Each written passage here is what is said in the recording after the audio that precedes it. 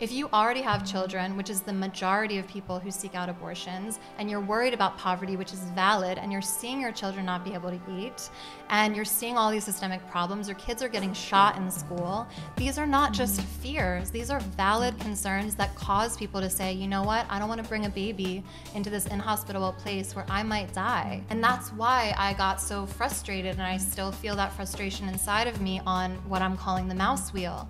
Because our aligning and deciding we agree when life begins will not also change my stance on what needs to happen and that abortion needs to be accessible until we can make sure those freaking women aren't dying out there. I think we have to get into that conversation about how we um, help women who are being coerced and support women who are in low income situations or abusive relationships, giving them the help that they need, connecting them to the resources that they, that they deserve. That's all very crucial.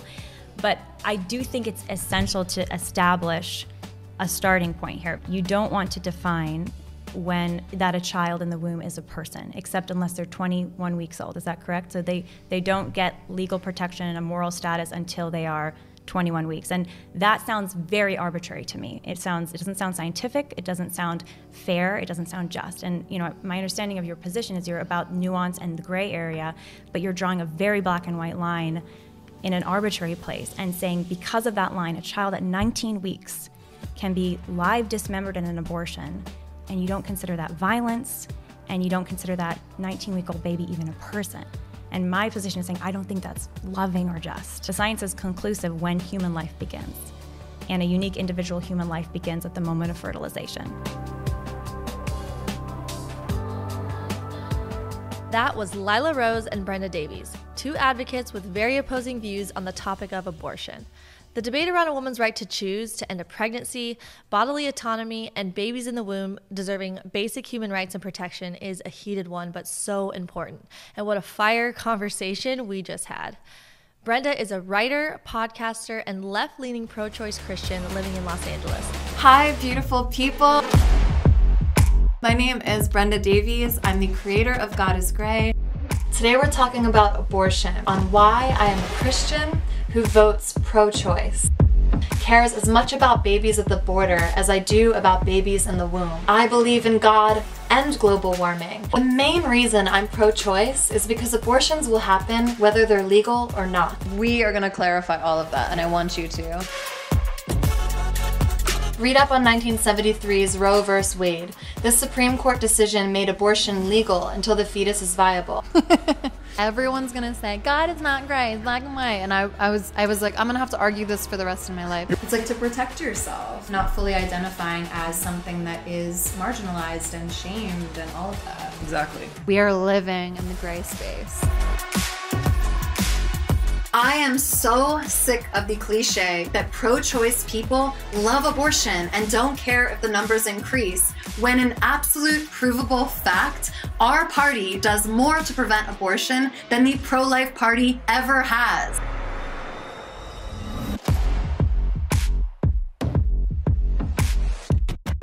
Her YouTube channel, God is Grey, has over 10 million views, and her work attracts a growing audience of 250,000 people in 44 countries. Her debut novel, On Her Knees Memoir of a Prayerful Jezebel, received rave reviews and has maintained Amazon's number one position in gender and sexuality. Brenda believes that forced birth is immoral and that abortion can be better prevented by making this nation a more hospitable place for new and existing life with left leaning policies like gun reform, taking climate change seriously on behalf of our children, raising wages and taxing the 1% more, and solving our nation's maternal death problem. She's passionate about educating people on what she considers the dangers of purity culture, and she's LGBTQ affirming. Lila, a writer, speaker, and pro life activist, is the founder and president of Live Action, a human rights nonprofit with the largest digital footprint on the globe for the pro life movement. This is an abortion industry dream come true. Lila Rose, the president of Live Action. Don't you feel that your positions, your extreme positions, are just forcing women toward these more dangerous options? I think that, Sally, we should dare to have a better view for America and our women by saying we shouldn't believe and have to think that women need abortion and that we have to kill our children to achieve the dreams and the careers and the families that we want. I think we can do better than that as a society. I think women deserve better.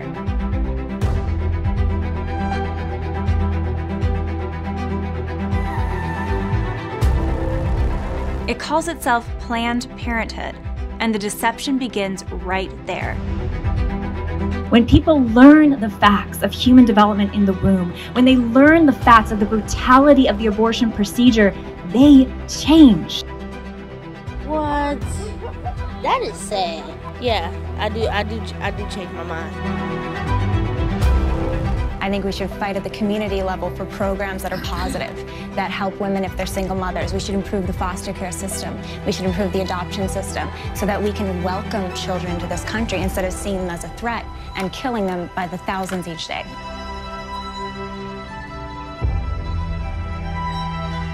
Live Action exists to defend the rights of the unborn and make abortion unthinkable. With over 5.6 million social media followers and 1.4 billion video views, Live Action reaches up to 100 million people per month. Lila's investigative reporting on the abortion industry has been featured in most major news outlets, including the Los Angeles Times, the Washington Post, the Atlantic, CBS, and ABC Nightline. She's the author of Fighting for Life Becoming a Force for Change in a Wounded World. She's been named among National Journal's 25 most influential Washington women under 35, and she often speaks internationally on family and cultural issues. Not many issues are more polarizing and heated than the topic of abortion. A huge problem in this world today when navigating opposing views on any topic, but especially one like this, is how often one side labels the other as having poor or even evil intentions. But the reality is that most people have pure intentions for what they think is the most kind and helpful and progressive. And in this case, what they consider more progressive towards equality of human rights. They're just thinking with a different lens. Pro life advocates believe in the inherent value and human rights of the unborn. Pro choice advocates believe women should have the right to choose whether to continue a pregnancy or not, and that banning abortion takes away bodily autonomy. Both have pure intentions. That's one reason why conversations like this are so important to understand why the other thinks the way that they do. The other reason conversations like this are so integral is to get to the heart of the issue. It's easy to listen to one side you gravitate towards and lean on euphemisms that sound good, but is the side you listen to really speaking the truth? And do you really have all the facts if you aren't hearing both sides? Rather than go into this conversation determined not to change your mind, what if instead you went into the conversation determined to understand the way the other side thinks? It's likely you've already established some opinions about this topic, but how much time have you listened to the other side and the reasons they think the way that they do? If you listen with an open heart, you are much more likely to at least understand how and why the opposing view got to their viewpoint. And understanding brings people together. Understanding creates empathy and openness and more common ground than what is normally found. And with authentic curiosity, you may even learn something you hadn't considered before, or even change your mind. These types of conversations are so important, yet becoming increasingly rare. I value diversity of thought, and truly, opposing views are my favorite type of conversation. I personally have an opinion about this topic, but I'm going into this discussion as the moderator.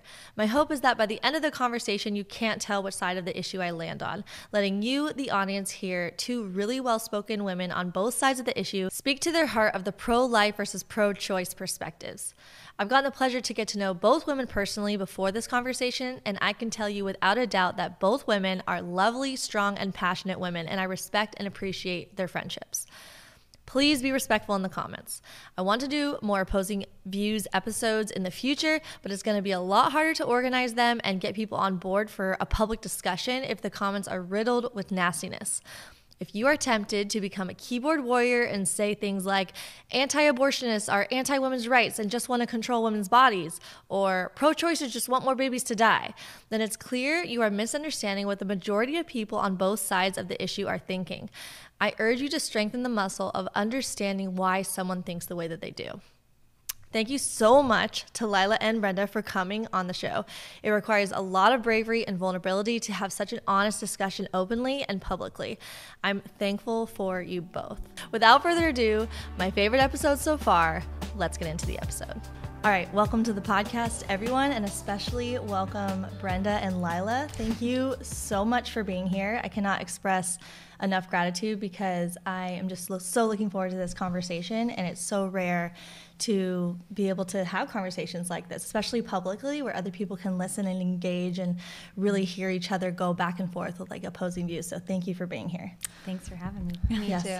And for those listening and watching, we're going to basically be doing a format where each person is going to get to respond to each question, but I'll be directing a lot of the questions to a specific person. But they're going to get to go back and forth, and we're going to just get started. okay, so my first question is in two minutes or less, explain your position and why you are pro choice or pro life. So, Brenda, why don't you go first? Okay. I'm going to reference something I wrote down because I think the language is important. But I am pro reproductive rights and reproductive justice, meaning the human right to maintain personal bodily autonomy, equal access to safe abortion, affordable contraceptions and comprehensive sex education, the freedom from sexual violence, and as defined by Sister Song, the right to parent the children we have in safe and sustainable communities. So, in lieu of the inhumane removal of a person's God given autonomy, I am someone who focused on the efforts of making the US a more habitable place for all while focusing on pregnancy prevention. So I wouldn't call myself pro choice, I would say all of that. yes, longer, drawn out. Yeah. What about you, Lila? Well, I'm 100% pro life because I think all human life is precious and deserves protection. Whether you're an unborn child or you're an adult or you're an elder, an elder, you deserve protection legally and you deserve to be embraced by society. And I also think that the bonds of love that connect us are some of the most precious things in the world. And the bond of love between a mother and her child should be protected and supported and never, never pushed towards violence, uh, especially against that unborn child. And I also believe that abortion is not the solution to any problem that a woman faces. I mean, I believe in um, a, a bodily autonomy. I think that's very important. Um, you mentioned reproductive rights, Brenda, and I, I agree. We, we have reproductive rights as human beings, but when there's a child that's already been reproduced, reproduction has already taken place. Now it's a question of human rights for that child as well as human rights for the mother. So I think we have to chase after both legally and in our society uh, the upholding of everyone's human rights and never pit a mother against her child or family members against each other, but instead acknowledge that every human being has the same human rights and those need to be protected. And the first human right is life, the right to live. Okay, I think that really is a great way to start where you show like your foundational principles. so, the next like basic question, how would you answer the question what is abortion in one sentence? Lila, you go first. Abortion is the direct and intentional killing of an innocent child. Brenda? Abortion is a procedure that ends a pregnancy. Okay, great. So now we're going to get into some foundational questions that may take a little bit for you guys to be able to go back and forth on because it really is the foundation of why you guys believe the way that you do. So, my first question to you, Brenda, is Do you believe that it is always wrong to commit intentional violence on an innocent human person? This is such a loaded question, especially the way it's worded. I don't think anyone should be perpetuating any violence against anyone. And the disclaimer of innocence doesn't uh, bear weight to me. I think everyone should be allowed to live without violence. Um, also, I mean, that question is implying that the abortion procedure is a violent act against a life, which is not necessarily something I believe. I think for me, the moral stance or the complication on when life starts is where we really get in the mud and the mire of things, where like as opposed to really looking at the issues and the systemic problems that lead to an abortion. Um, sorry, I'm getting lost on the question for a second. Yeah, so I can just repeat it again. Yeah. Do, you believe? I know it's it's worded toughly. Yeah, and like this for- is a really hard one. Yeah, because the for anyone listening or watching too, like my intention is to word questions in a way that like a pro-choice person would would ask a pro-life person, and a pro-life person would ask a pro-choice person. Mm-hmm. So that that has been my intention. So so this one is: Do you believe that it is always wrong to commit intentional violence on an innocent human person? Yeah. So I don't know. It's a really impossible question, I think, for me to answer because I just think fundamentally it doesn't actually present the issue with abortion or how we're going to figure it out or how we're going to solve it. Like it's kind of where I'm getting in the mire of trying to like not get in these circular mouse wheel kind of arguments with people about when does life begin and when is it not okay to do this anymore versus really focusing on the harm that is being done systematically all throughout our society that causes a woman or a person who's pregnant to feel that this is their only choice. Okay. Could could I follow up? Yes. Okay. I'm like not sure the the, Yeah. the status here. So um, thank you for sharing that. When you say that. Um, w- I think you were you're saying I'm not sure how to answer that question. Originally, you said you think it is r- violence against innocent persons or any persons is wrong, but then you were saying you're not sure abortion is violence. Um, how do you define violence? Well, it's the the personhood. It, it's like such a complicated question because there's so many words that you could pull out of there and realize how complicated each one is. Because personhood for me begins at viability. That's my personal belief, and some pro. Um, reproductive right people wouldn't necessarily with, agree with me on that. They, So- Oh, I'm sorry. Yeah. No, go ahead. Yeah. So uh, just to understand, so you're saying you can't commit violence against a child in the womb before 20 weeks because you don't consider them a person. So in the case of you know a, a, an abusive boyfriend or husband who tries to force a miscarriage for a woman who's pregnant in the first trimester, you wouldn't consider that an act of violence against her first trimester baby because it's not a person yet. I mean, yeah, I would. I think what people really don't understand is that I'm sitting at this table because abortion is something that I find very tragic, and it's something that I want more than anything else to help be preventable in the society. I think from top to bottom, the whole situation can cause a lot of pain and does cause a lot of pain. And I do think that it is a moral conundrum, all of these these questions. However, I believe what I do and I champion the right to a person's bodily autonomy and the right to choose an abortion because I look at a society mm-hmm. and a place and a system and a foster care system and a prison industrial complex and poverty that makes this world less habitable for those people that we would want to that you would want to see like mm-hmm.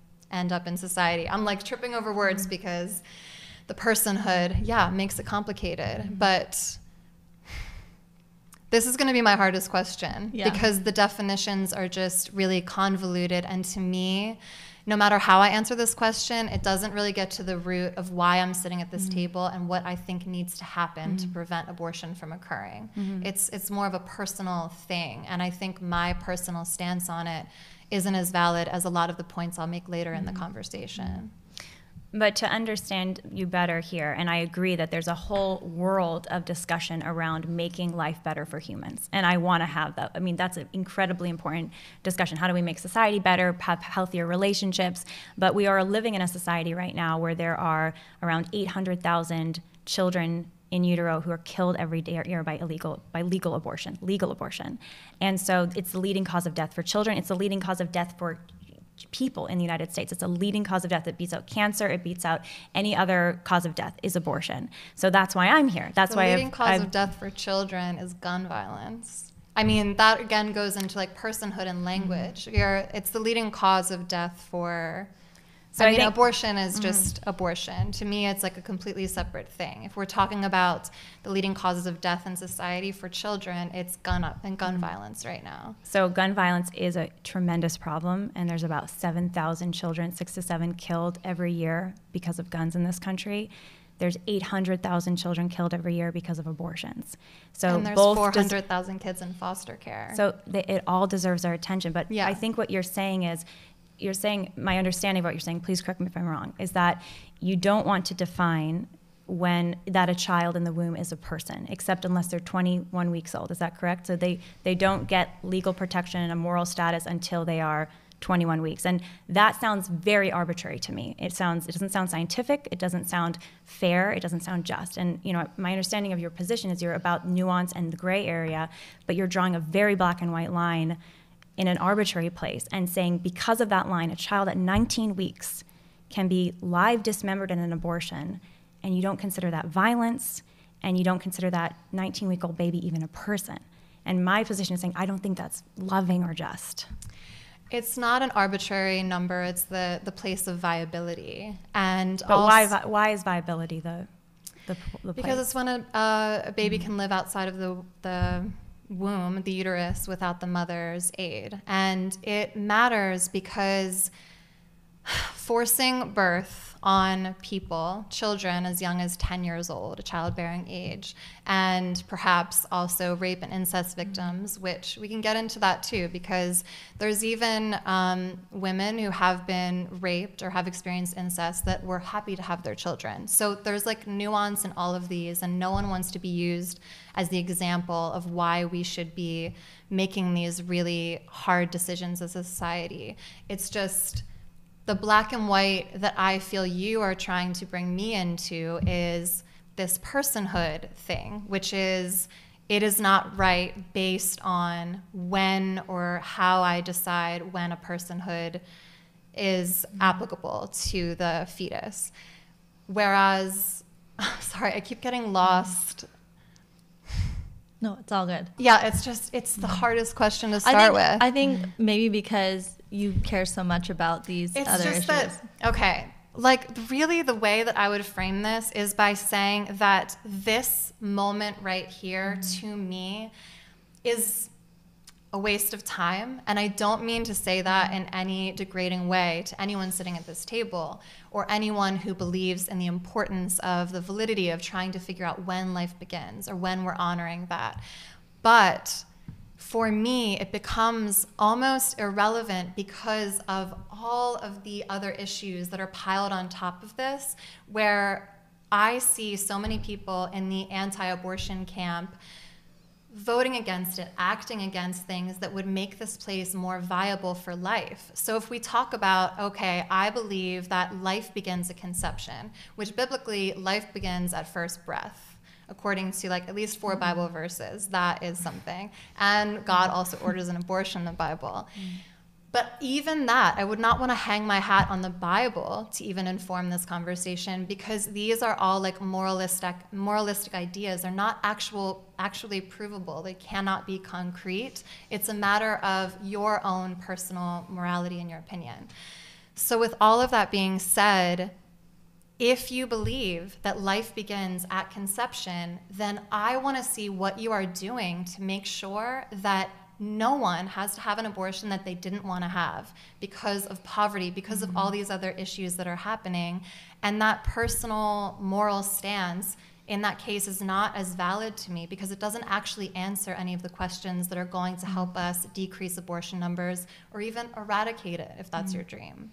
So I think we have to, if we can keep going, I think we have to get into that conversation about how we um, help women who are being coerced and support women who are in low income situations or abusive relationships to make sure that they are not coerced into abortion. I think abortion and coercion go hand in hand.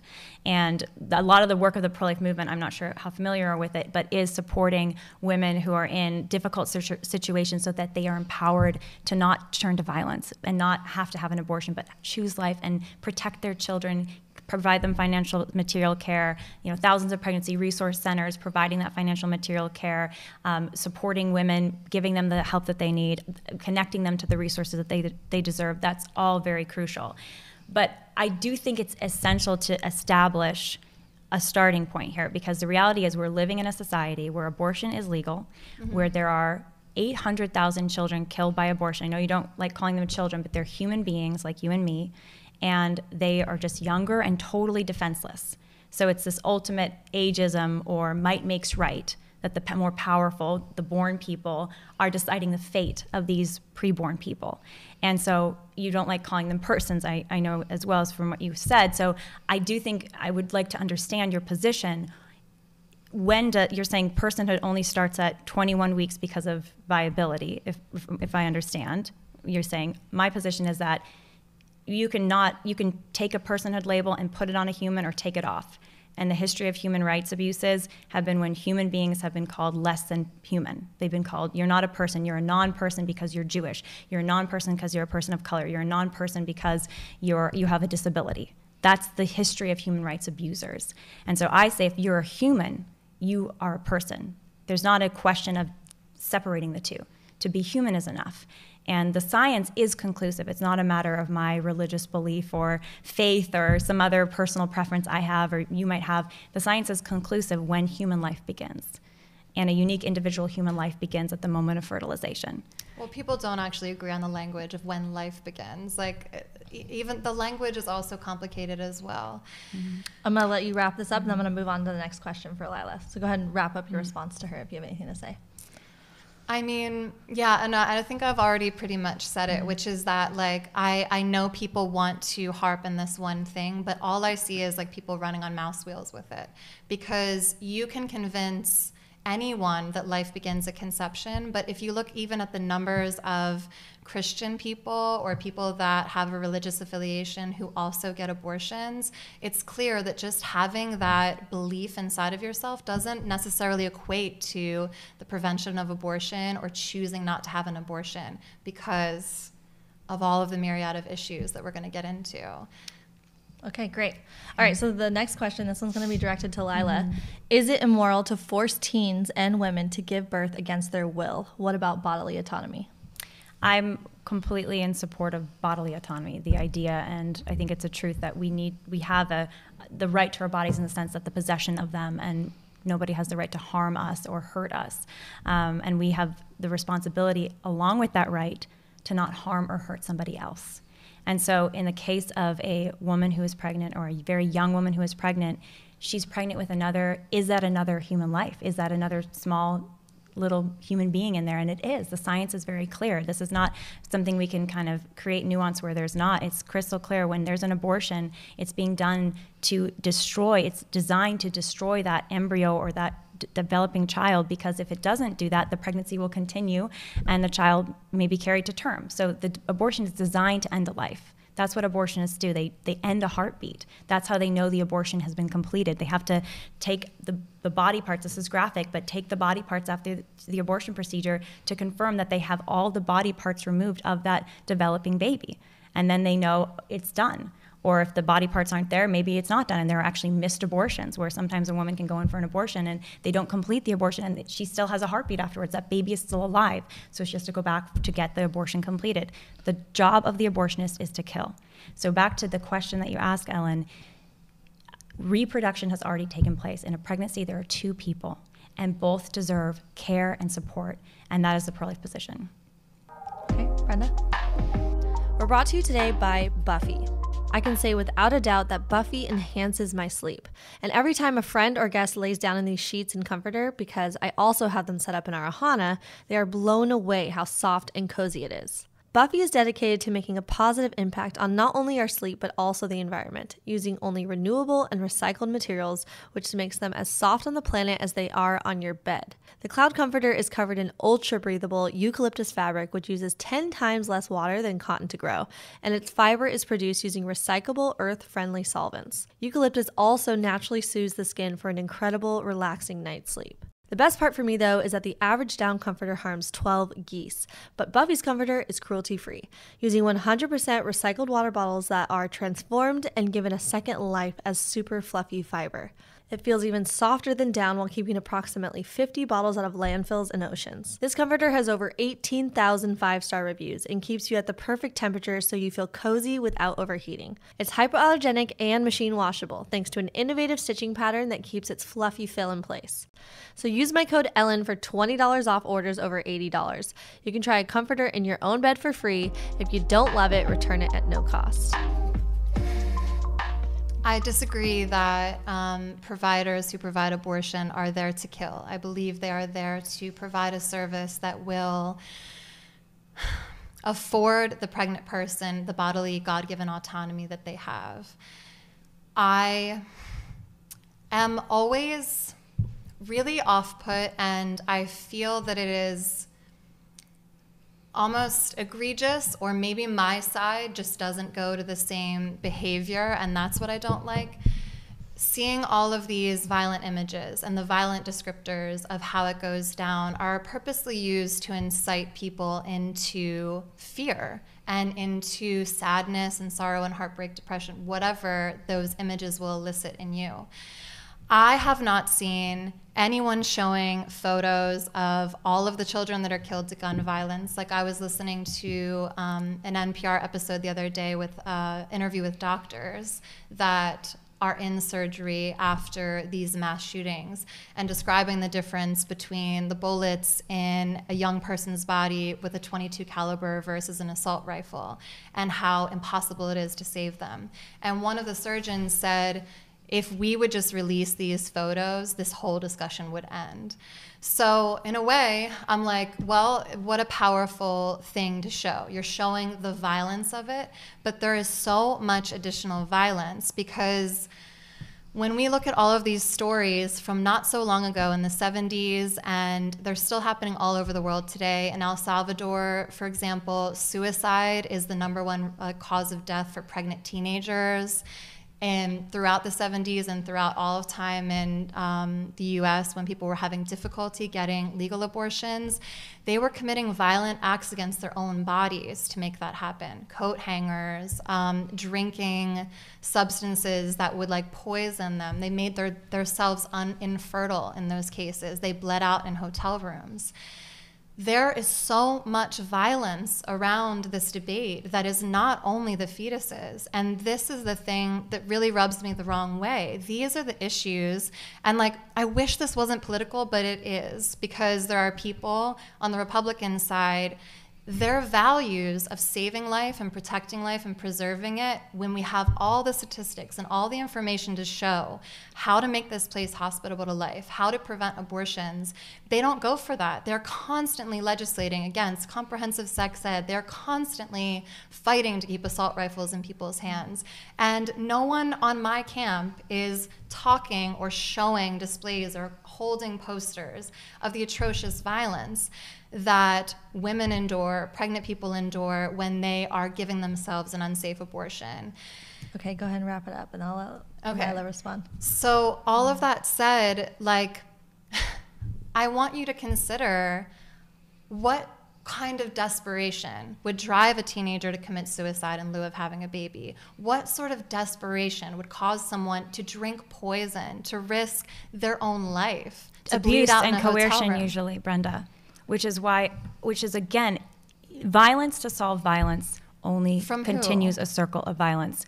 Abusive situations, abusive parents, That's not abusive exclusively boyfriends. the only reason women get abortions. I was Well, you're- abused into an abortion, but it was still an autonomous choice that I made. It really was. so you I were. mean, that's not the only way people have mm-hmm. abortions or reason for it. So I want to respond to a number of things that you said because Yeah. there's a, there's a lot in there, and I think we have to, I think, take one piece at a time to really find can we, you know, present, resolve one piece at a time. And so one of the things that you said was that um, showing images of children killed by abortion, because I was describing how abortions actually take place, and you're saying showing images of abortion is violence.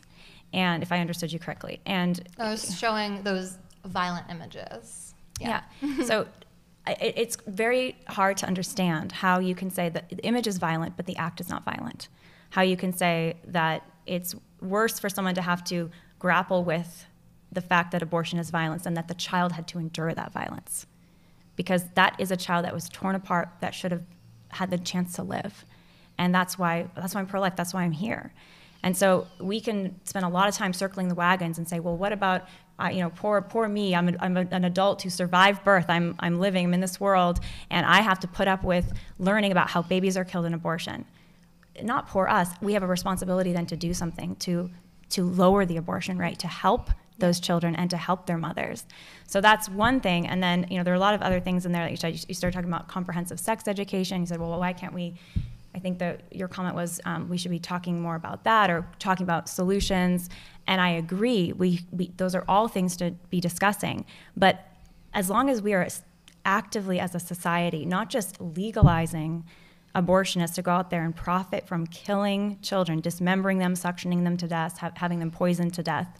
And as long as it's even being paid for by the state in many cases, like here in California, that's, that's the bloodshed. That's the, the biggest human rights abuse in our society today. So we need more voices on that. We need more people fighting that. And until we can agree to finally stop that violence, it's going to be hard to make the progress we need to make on the other issues. We are making that progress. I mean, Live Action is for child tax credit and working to support pregnancy resource centers, get them more of the support that they need so that they can help more families. But there's bloodshed happening today in our cities, and we need to come together to stop that. So, Brenda, I want you to reply to that. And then after that, can you address a little bit more clearly if it is morally conflicting to have this view that you said, that you're mm-hmm. talking about with, you know, babies and their inherent human rights, but then also if there's anything morally conflicting about forcing women mm-hmm. to give birth against their will. But go ahead and answer her first, and then maybe you can address that a little bit more. I just feel like you just skirted so much, which is frustrating. And also, What did I There's, skirt? like- that there's I, inciting- what, what exactly did I skirt? Because I, well, I want a lot I, of it, I mm. said, I, Yeah. Mm-hmm. I did not say, I, mm-hmm. and I did, like, I'm sorry if it was misperceived, but I am mm-hmm. not saying, poor me, I don't want to be assaulted by those images. I'm saying, Well, you're saying that we shouldn't show those images because it's no, somehow. I didn't say that. Okay. I was saying that your camp Mm-hmm. is always putting out those images. Do you think that's wrong to share the truth about what abortion does to that baby? I feel neutral about it, to be honest. I, I, I think Because you didn't seem neutral just a few moments ago. Well, the point it. that I'm trying to make is that those images are accessible and they're one of the main tools being used to scare people out of abortion. There's also a lot of inciting description and language that is not always based in fact and reality. What's that an I am example? opposed to. The idea that doctors are going in and dismembering the body. That's how a second trimester abortion takes place. They are It's live dismemberment. injected with uh, not in not in mo- many cases. No, Planned Parenthood doesn't use digoxin in most of their abortions. I mean, I had a Planned Parenthood abortion, so I was. Did you have a second trimester Planned Parenthood No. abortion? Planned Parenthood in their second trimester abortions typically does not use digoxin. They do not do an injection first. So Typically, you use suction? they'll use a suction instrument to help with the process of the dismemberment process of the baby. And you know, we actually have a series out that's narrated by former abortionists so that they've actually done these procedures, they're experts, and they describe what happens in a D&E second trimester abortion. Well, this is where you and I would find common ground. Mm-hmm. Perha- I mean, not really, because you'll be anti abortion exclusively. But for me, I am not. I think the position being taken that there's some like evil, nefarious group of people that just like loves killing babies and they're being dismembered in these violent ways. Have you heard of Kermit. Gosnell? Oh, one second. So these ideas that there's just like that that would be evil, honestly. And the way that we can like agree or like get on the same page is to say that if these procedures are being done, they do need to be done with absolute care and to make sure that it's causing the least amount of pain as possible. I don't I don't want to see abortions be violent in that way and I don't know enough about that. I'm also not like I favor Planned Parenthood because they're one of the only nation or the only not options in our nation for women to get the care that they need in a lot of cases, um, especially when you don't have health care and all that all that stuff. So I am just saying that when you are showing these images, that fine, we can agree they're violent. I can agree with you that these procedures are not being done well in some cases. Like, if you give me that information, I read it and I see it and I talk to people, I'm always receptive to that. And So- I don't think that's right. So just to understand, you're okay with an abortion, like an alive dismemberment abortion. You would be okay to, to dismember that baby provided it was injected into the heart with a substance that is actually used for lethal, Uh, lethal injections in executions, state executions. You would be okay with injecting that, piercing that baby's soft body tissue into the heart with a with a substance that stops its his or her heart. And then after the heart hopefully has stopped beating then it's okay to start the, the dismemberment process. That's okay with you but it's not okay if the injection hasn't been done first. Is that what you're saying?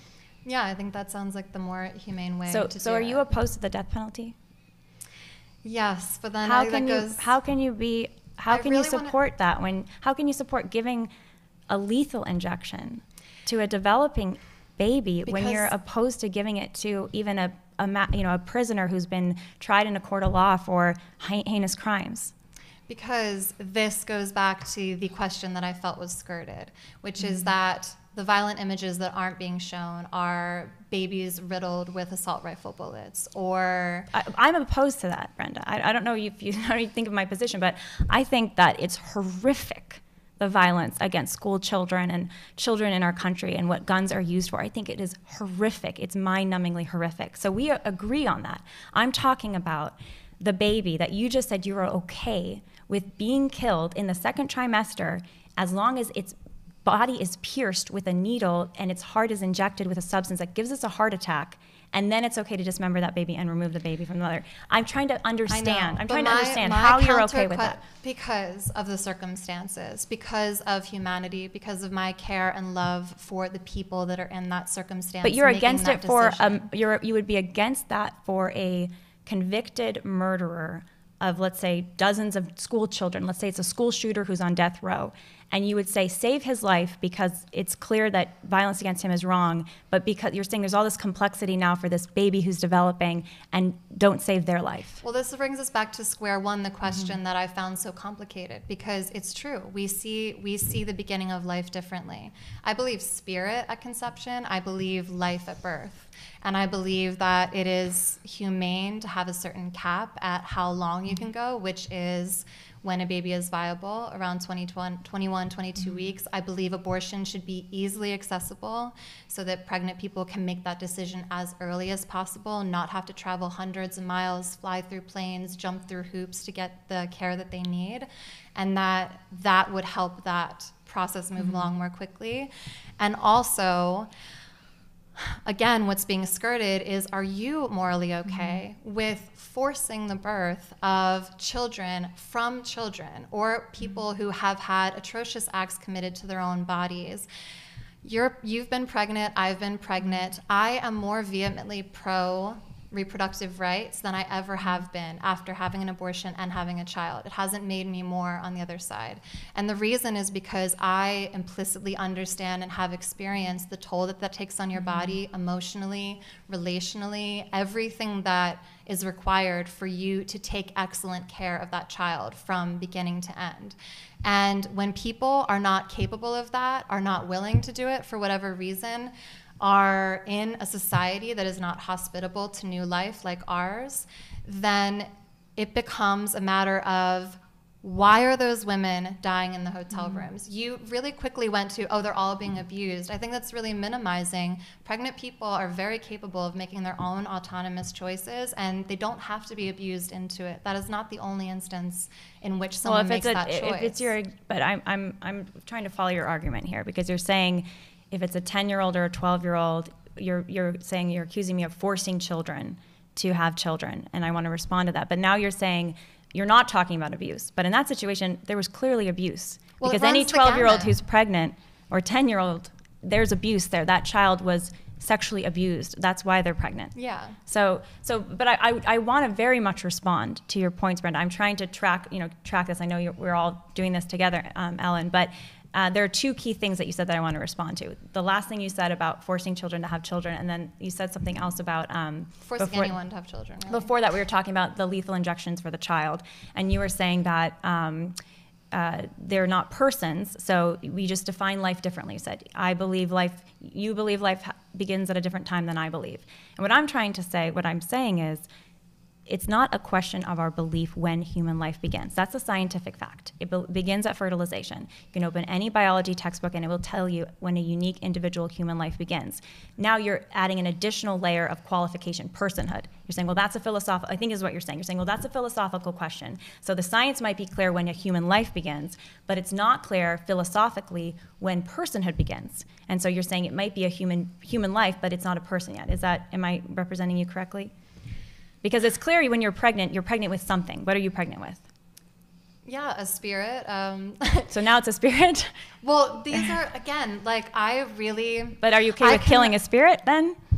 I believe that energy moves. I don't think you can kill a spirit. When you're pregnant, what are you pregnant with, biologically speaking?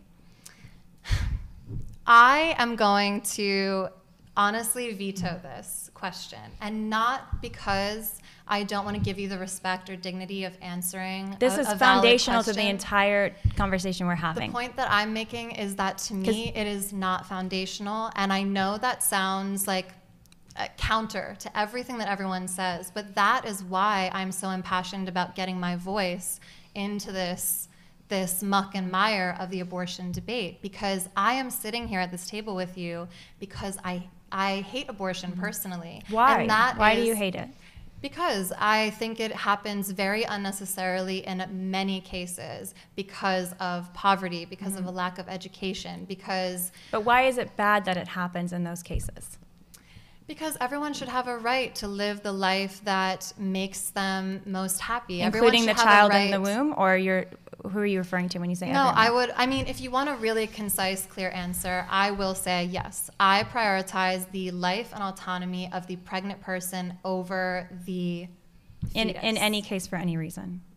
up until a certain point of viability. and and your point is and and your choice for viability which i think it comes back to so you say you won't say when human life begins although science is clear on that but you're saying that it's oh, any abortion for any reason is okay up until what exact marker I guess 21 weeks or so. okay And I would love for that to But go at 20 way down. but 20 weeks it doesn't matter how the baby's killed it doesn't matter what happens that baby at 20 weeks is no, I not already told you. I, I, it has to be done in a humane why way. why Why, if it's not if it's not a person if it's not a human life even as you say why does it matter Because we're all human beings. We're all. but you just said it's not a human being Okay, so I, I'm I trying do- to understand. Uh, but No, you know what Yeah. though? I do want to say the next question is actually more related to the specific thing. But before we move on, can you address m- my first question, which you did kind of address, but Brenda felt like you kind of skirted, mm-hmm. and it would be nice Yeah. to just answer a little bit more clearly Yes. about like, is it morally conflicting mm-hmm. though to have that,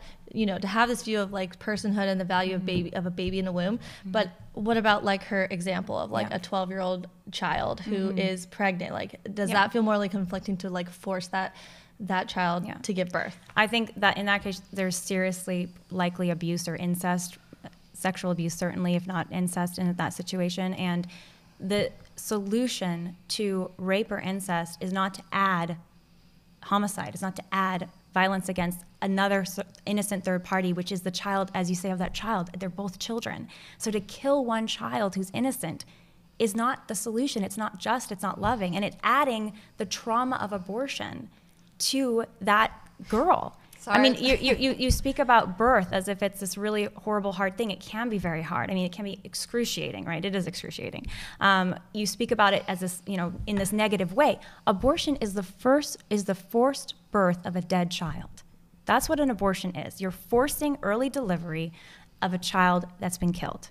And so, you know, when we're talking about what's best for women, abortion is never best for women, including a survivor of sexual trauma, because it's adding trauma, it's adding a wrong on top of the first wrong that she endured. And I think it's a, it's a reflection on the poverty of our society's care for those that are survivors of sexual violence to send them off to abortion clinics as a solution to the pain, the first pain and the first injustice that they endured. I would say that I have noticed that there are some abortion providers who do too quickly push people into like just reiterating like you're here to make this choice. You've already made it. Let's go. I was actually treated with a lot of tender love and care when i had an abortion at planned parenthood. It took like nine hours and i was asked many many times and brought into many different rooms if i was abused if i was coerced all of these things.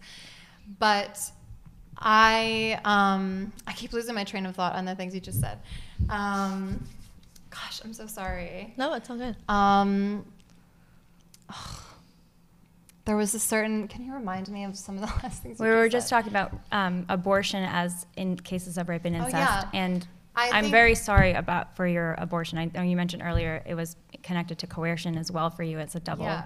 double pain, and I'm I'm sorry for the loss of your baby, and I'm sorry for what you endured in that relationship. And it's okay because it was a very expansive experience and it taught me a lot about abortion and pregnancy and life. Like having had both those mm-hmm. experiences, this has elevated my compassion and my ability to empathize and understand what other people are going through. So I'm like, kind of feeling embarrassed that I'm flubbing so many of my words, but a lot of it is because the terminology in so many ways has been so disagreeable and is intentionally inflammatory or intentionally bolstered up. Not not in on fact, not in my on my side. I'm not In your opinion, Well, I think a but I'd, I'd ask you if, if you disagree with terminology that I'm using. I would encourage you to tell me what you disagree with, and we can discuss whether or not that's appropriate terminology.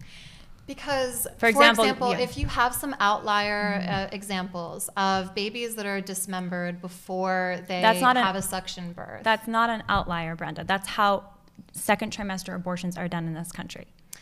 I mean, I'm not educated enough on it in that case. But like I said, I do agree Mm-hmm. And, with and, you. and, in, and in fact, in suction first trimester abortions, often the baby is dismembered during that process because of the power of the suction. So it happens in many first trimester abortions as well.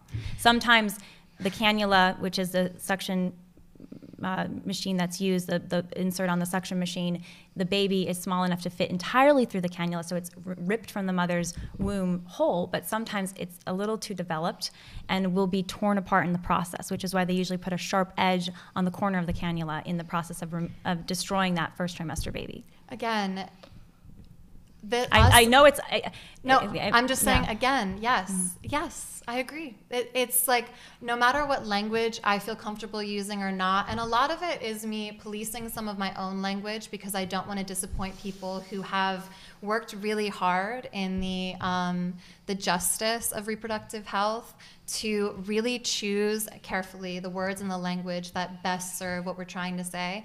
And I admittedly have not educated myself on that enough mm-hmm. because I come from an era where just like pro life, pro choice, this is what it means. So this is all new for me. Mm-hmm. And all I have is my lived experience and what I have learned from talking to other people. And the thing that is really upsetting to me that I just cannot ever get over, drives me crazy, bang my head against a wall, is that I still feel you and I are going in a circle and not getting anywhere when we're talking about this because I asked you, but what about the violence of what women and pregnant people have done to their They're, own they've been failed by the people around them. They need support and love. If they're Yes. facing a mental health breakdown, the solution is not to go commit violence against the unborn child. We're also brought to you today by Anima Mundi Herbals, an apothecary shop specializing in high potency elixirs, medicinal mushrooms, and collagen boosters. Owned and operated by a master herbalist from Costa Rica.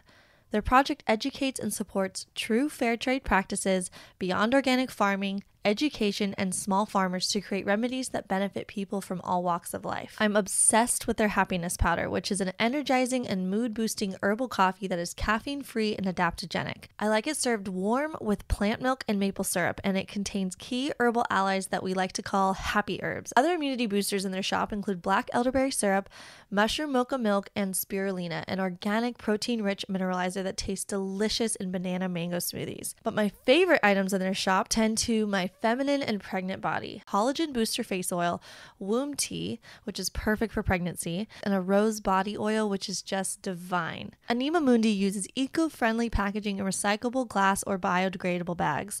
I got an awesome discount code for you guys too, so you can enjoy this wonderful brand. Use my code ELLEN15 for 15% off anything at animamundiherbals.com. That's A N I M A M U N D I H E R B A L S.com. The solution is to solve the mental health crisis that are the woman is facing. You are also really, really, really minimizing the trauma of sexual assault. I've also been sexually I- assaulted. It is minimizing, in my opinion, and a lot of people's opinion, to just say, from a place of like I'm perceiving, I don't know, affluence or just privilege. It is a privileged position though to sit here and be like, you know, if someone if someone sexually assaults you, it's your responsibility, whoever you are, no matter what age you are, to make sure that you don't do wrong now. No.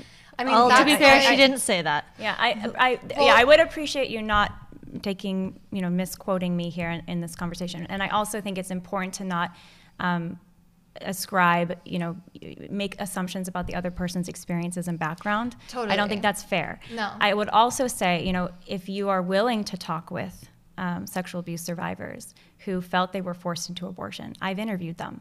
If you're willing to talk with sexual abuse survivors who have chosen to not have an abortion and are so grateful that they weren't coerced into it, that they didn't th- think that they chose it and it was a good thing for them. I encourage, I've talked with them, I encourage you to talk with them. So, you know, in the world of lived experience and stories, there are endless stories and they are important stories. But what's also important is right and wrong. What's also important is human rights. And so, and that's what I bring this back to is does the, is the life in the womb a life? Yes. Are they a human? Yes. Do all humans have human rights? Yes.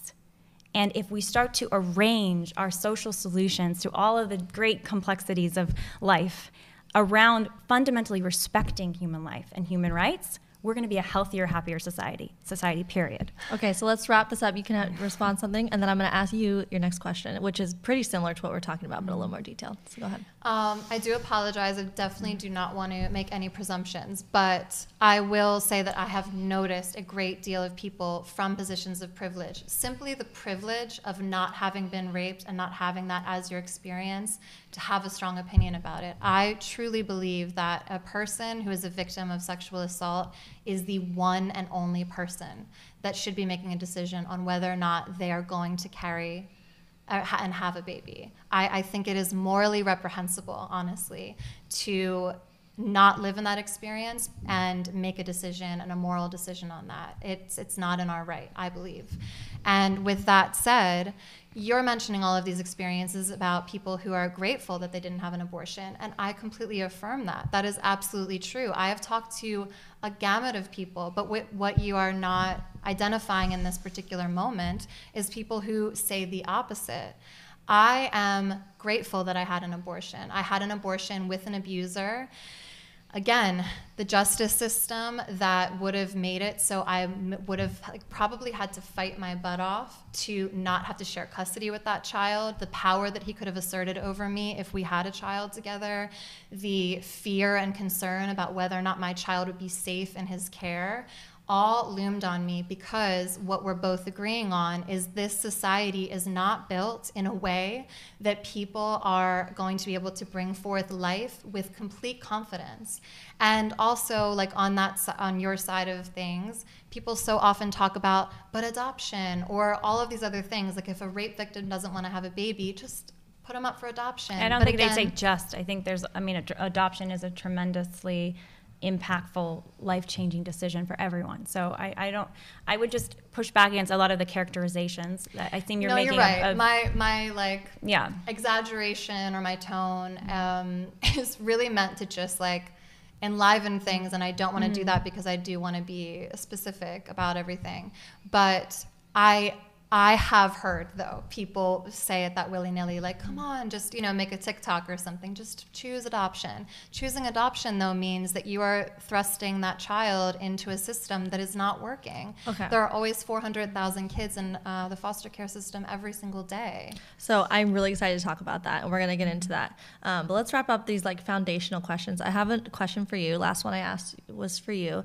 So this is basically a lot of what we were talking about, and your answer has been, you know, like in the gray because you're you know, God know, is it's gray. hard to be in the gray. yeah, but um, the question well, I had written there down. Is, there is black and white. My understanding of your yeah. position, just to make because we're doing foundations. Your position is that abortion for any reason is permissible up until 21 weeks, unless medical technology develops and the baby can get more help before that to survive. Is my understanding. But sure. up until yeah. 21 weeks, whatever goes is, is okay. your position. So this yeah. is going to be my my question, which is basically what is the time or moment of distinction when a person deserves basic human rights? And so this question, like, is it purely based on age, gestational age, when a human can feel pain? Is it brain waves, a heartbeat? Is it autonomy or a certain level of cognition that matters? Or is it the moment a person takes their first breath, like you kind of mentioned? But then you also have mentioned that viability because viability has gotten earlier and earlier and earlier over decades as you know um, our medical um, technology has advanced. Mm-hmm. So does that mean that it will continue to get earlier and earlier, or can the question of when human life begins be a personal question? I think that I think that there are like really great cases for some like um, I think that I'm just really like thinking about how if we made everything more accessible and it was easy to make that choice sooner. I would feel really comfortable diminishing that number to something even lower, you know, like 18 weeks or something. But really, for me, this is a really interesting challenge to be like taken to task on exactly how I'm defining Yeah. life and where it begins. And then we'll get into our- all and, and if I can comment on that too, I mean, it's because our laws do, and it's because the society's view of human life will determine our treatment of human life. And so that's why I, I know you say, well, I, it's, you know, it's gray. I don't want to get into these foundational questions, but it is the question. It is the question. And uh, and once we have that, if we can resolve that, um, great. I mean, we, there's so many m- many more things we can go to, but you can't you can't leave it unresolved because currently the the pro-choice or pro-abortion side, however you want to say it, is in support of abortion not being limited at any point in pregnancy, is in support of taxpayer funding for that abortion, and is in support of it across the country and even the world. So they've they've staked out a claim, and we're saying well, who's they? There's, The- there's the- so much nuance on, on well, both sides. On well, I, what I'm saying is the law. The law is, and the, the lobbyists behind the law, but just, just speaking strictly of the law, Which the law, law? in seven states in our country permitting abortion through nine months, in California permitting it up until about 24, 25 weeks, and even after that, as long as the abortionist signs off on it and they have some reason listed, it can happen till term in California. So, I mean, that's the reality we're living in. That is the reality we're living in. So the question is, are you okay with that or not?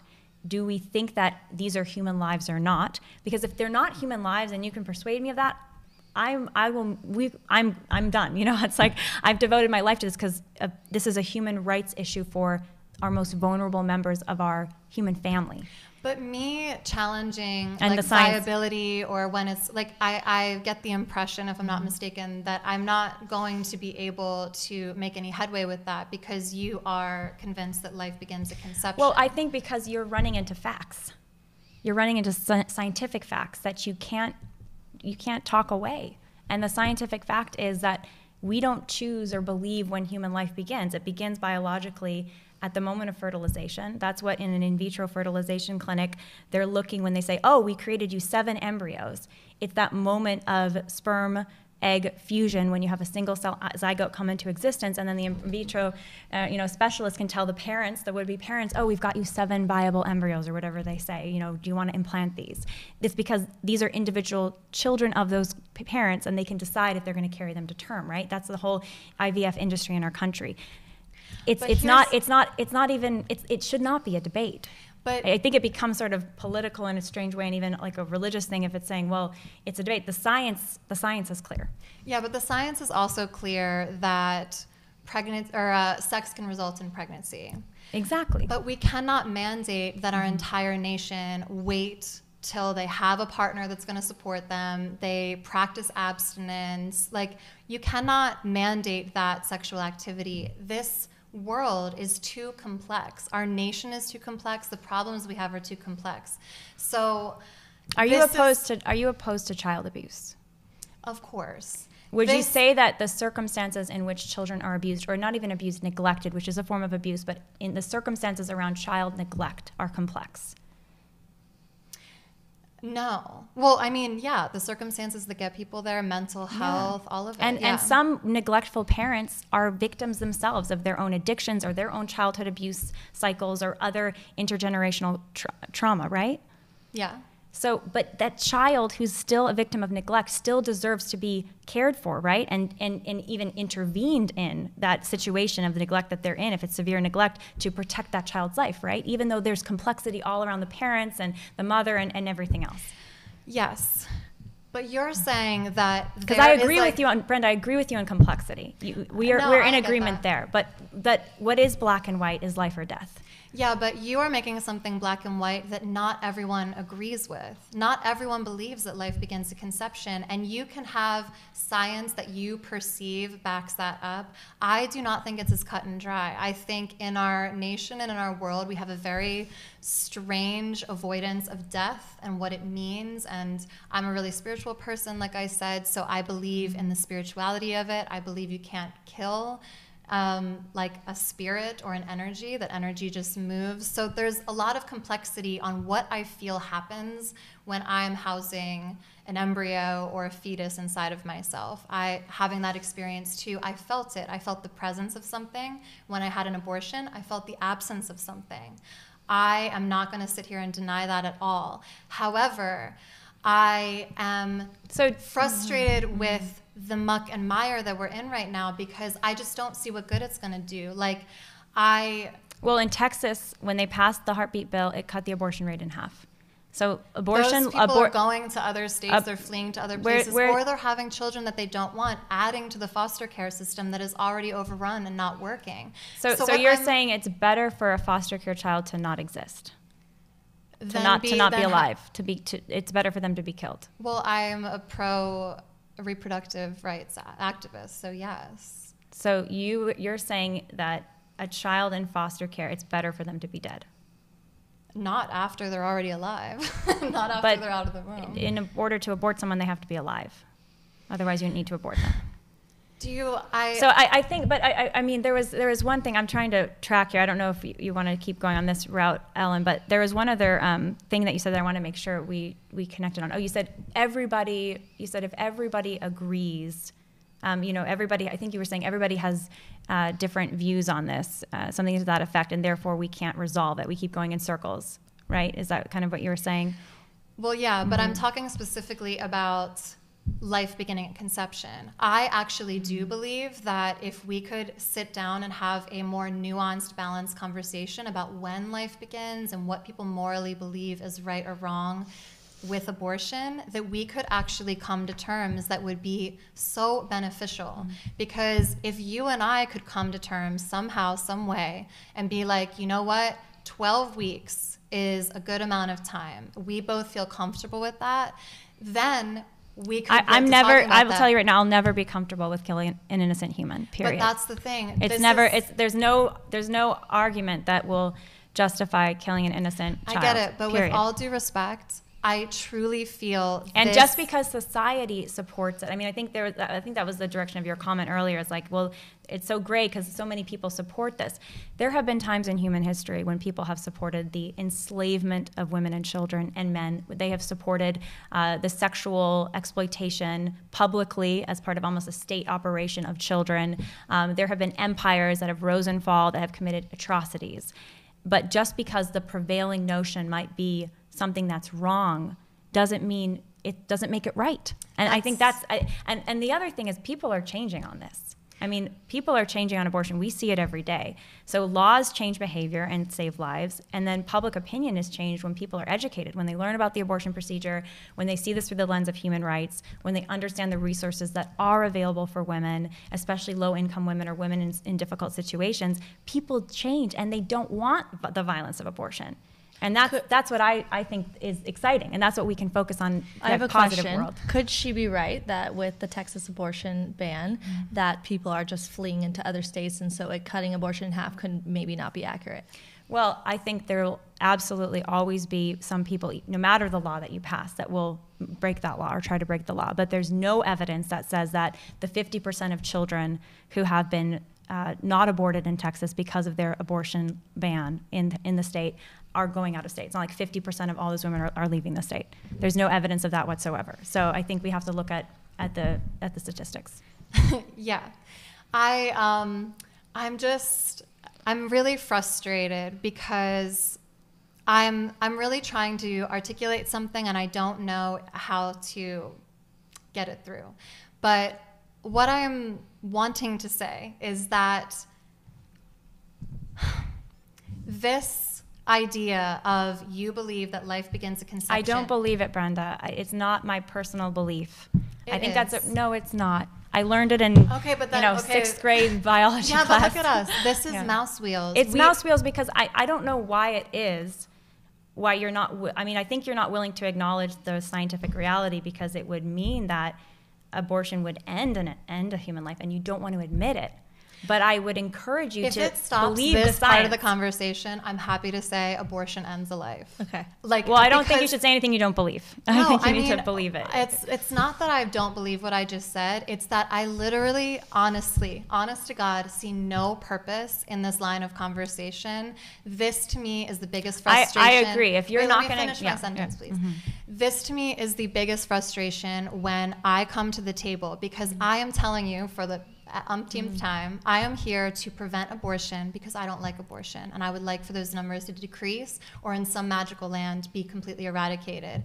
Not every person believes the same way that I do. Some people in my camp would think that's a little extreme and they want me to feel less moralistic or less emotional about it, but I do. And I feel comfortable sitting in that gray and saying, I don't feel comfortable with this. So, what does that do? That propels me into an obsession, an absolute obsession with figuring out how we make this place hospitable to new life. You and I mm-hmm. deciding or arguing about biology class it gets us nowhere. I don't see this going anywhere. All it's going to do is have viewers be like, Lila said all the right facts, and Brenda stumbled around because she doesn't know the proper words. And we've mm-hmm. solved nothing except make both camps feel like nice and tidy that they're on the right side of things. Okay. You I- finish I- up. I want to. I have a perfect question for you after what you just said because I do think that you speak to what a lot of pro-choice people feel. Um, most pro-choice people, when you ask them why they're pro-choice, they say, "I wouldn't personally get an abortion because, like you said, I think you're right that a lot of people who are pro-choice aren't like championing it, championing it, championing it." um, but they say, but I personally, I wouldn't want to force or restrict someone else from ending a pregnancy, keeping a pregnancy that they didn't want.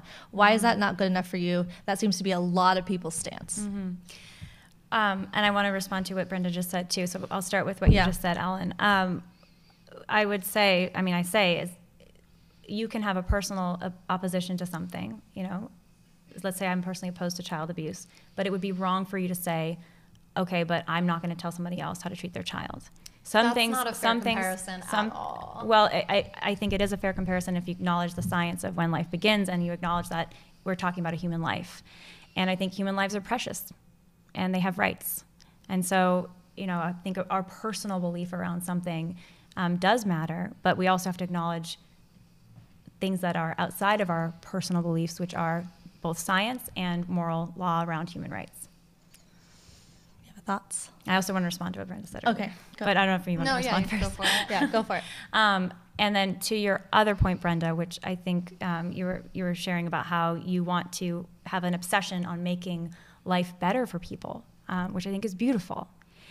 I the the starting point in my book and the reason that I'm working to educate every day about what abortion actually is, connect women to the resources that are out there, is that we cannot have a culture of life we really people flourish if we literally in our communities have centers set up where people are killing preborn children, and and that's that that, that is a culture of death by definition.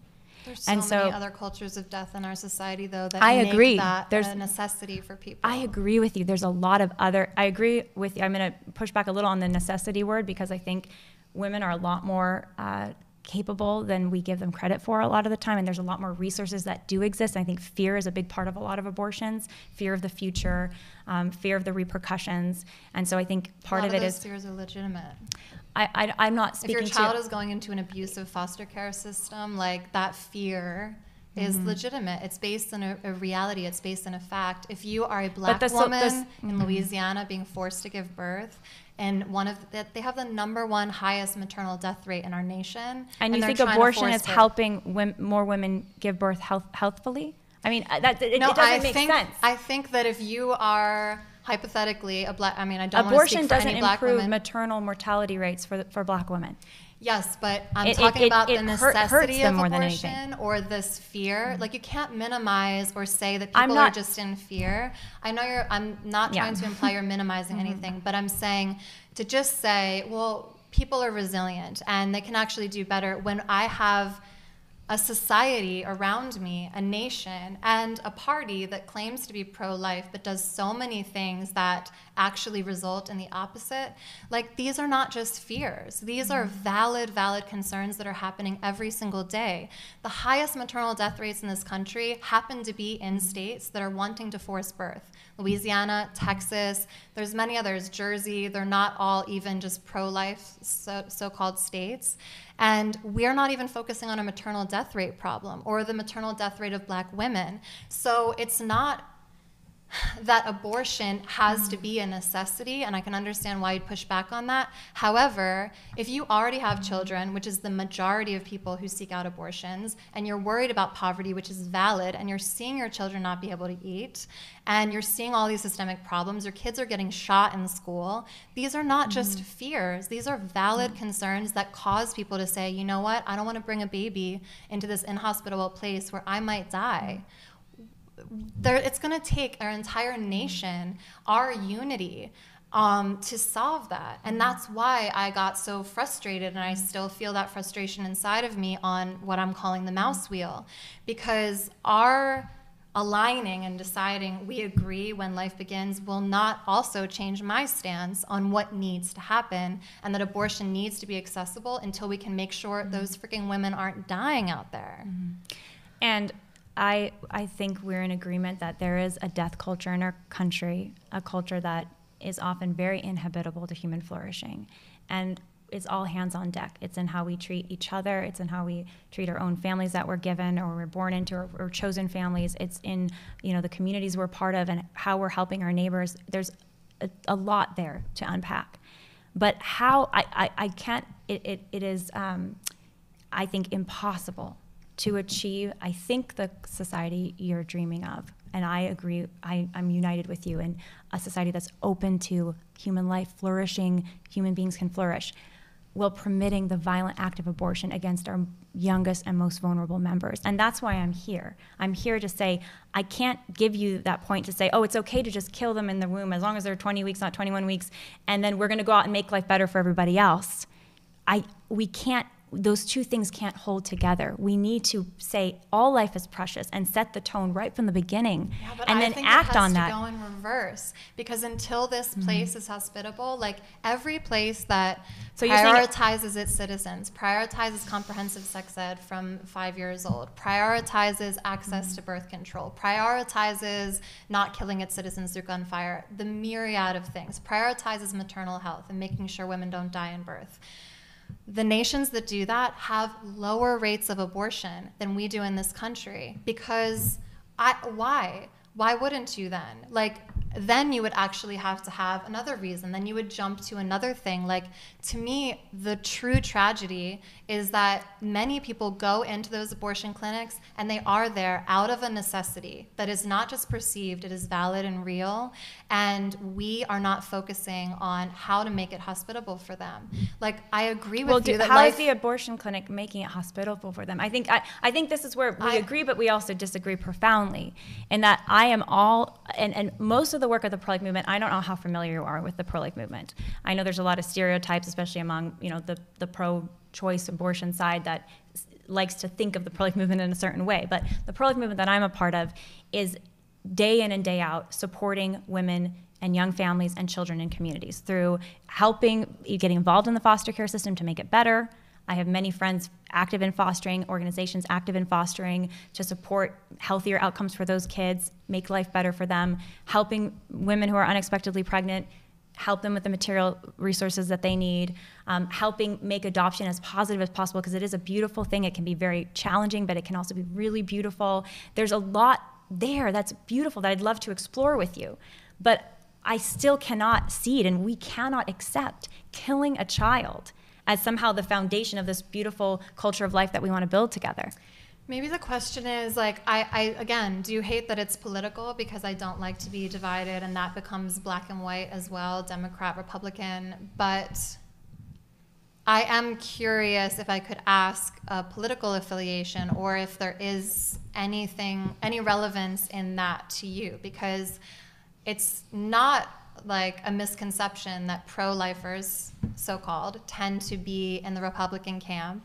like Donald Trump was a pro lifer, so called, all of that stuff. So I'm used to seeing these people who are know, yeah. legislating for the removal of bodily autonomy, the removal of reproductive rights, also simultaneously being vehemently against comprehensive sex ed and going on channels and instigating all of this fear and fear mongering around they're going to teach your kid anal sex at five years old and all of this stuff to make people afraid. I also know a lot of these states that are trying to legislate forced birth are also trying to get rid of birth control and get rid of access to women's health in general. And again, not even looking or taking care of their maternal death problems.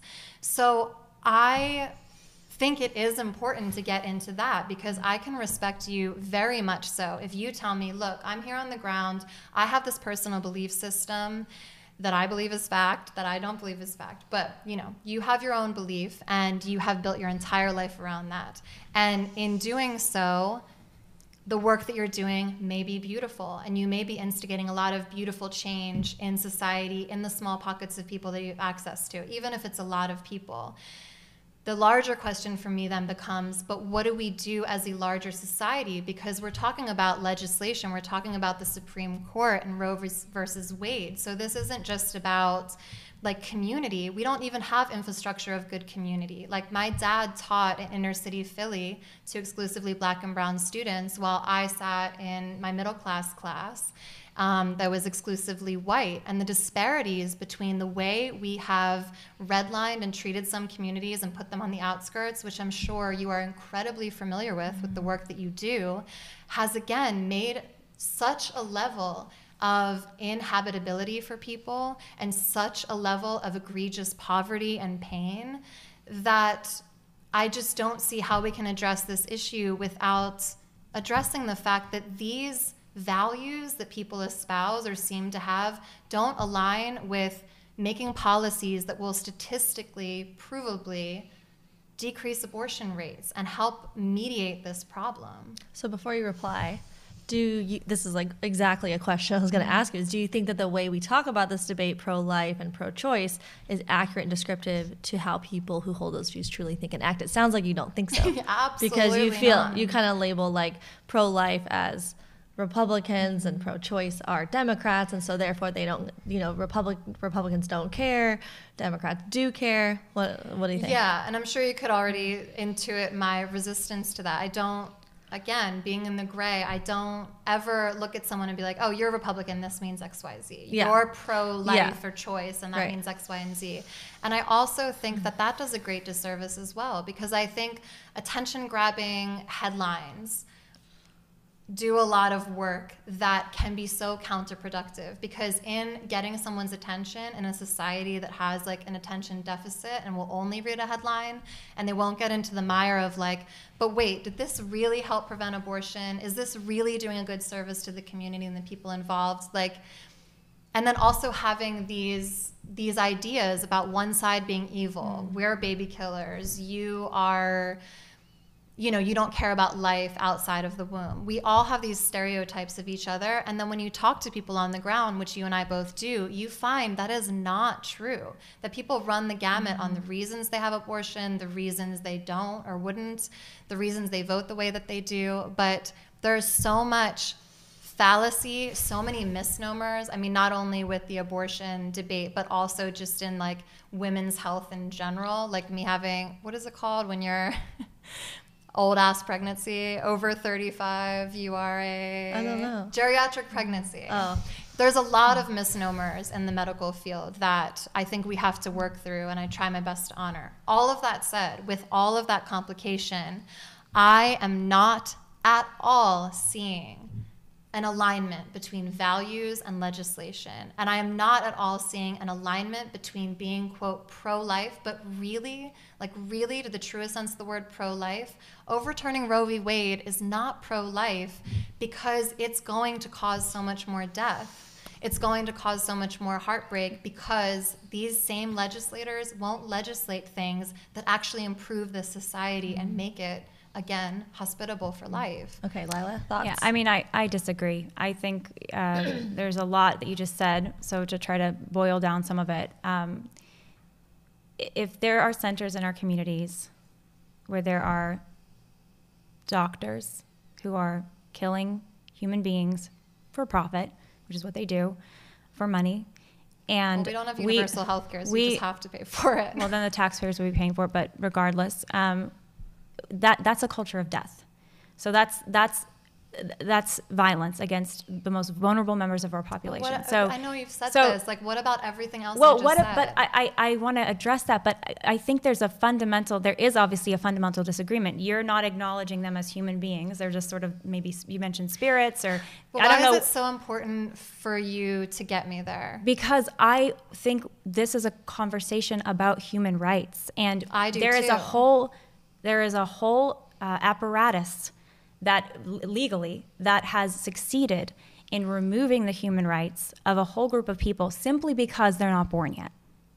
And that's one of the reasons I agreed to come here today because I'm advocating for their right to just exist, their right to be born Born into what?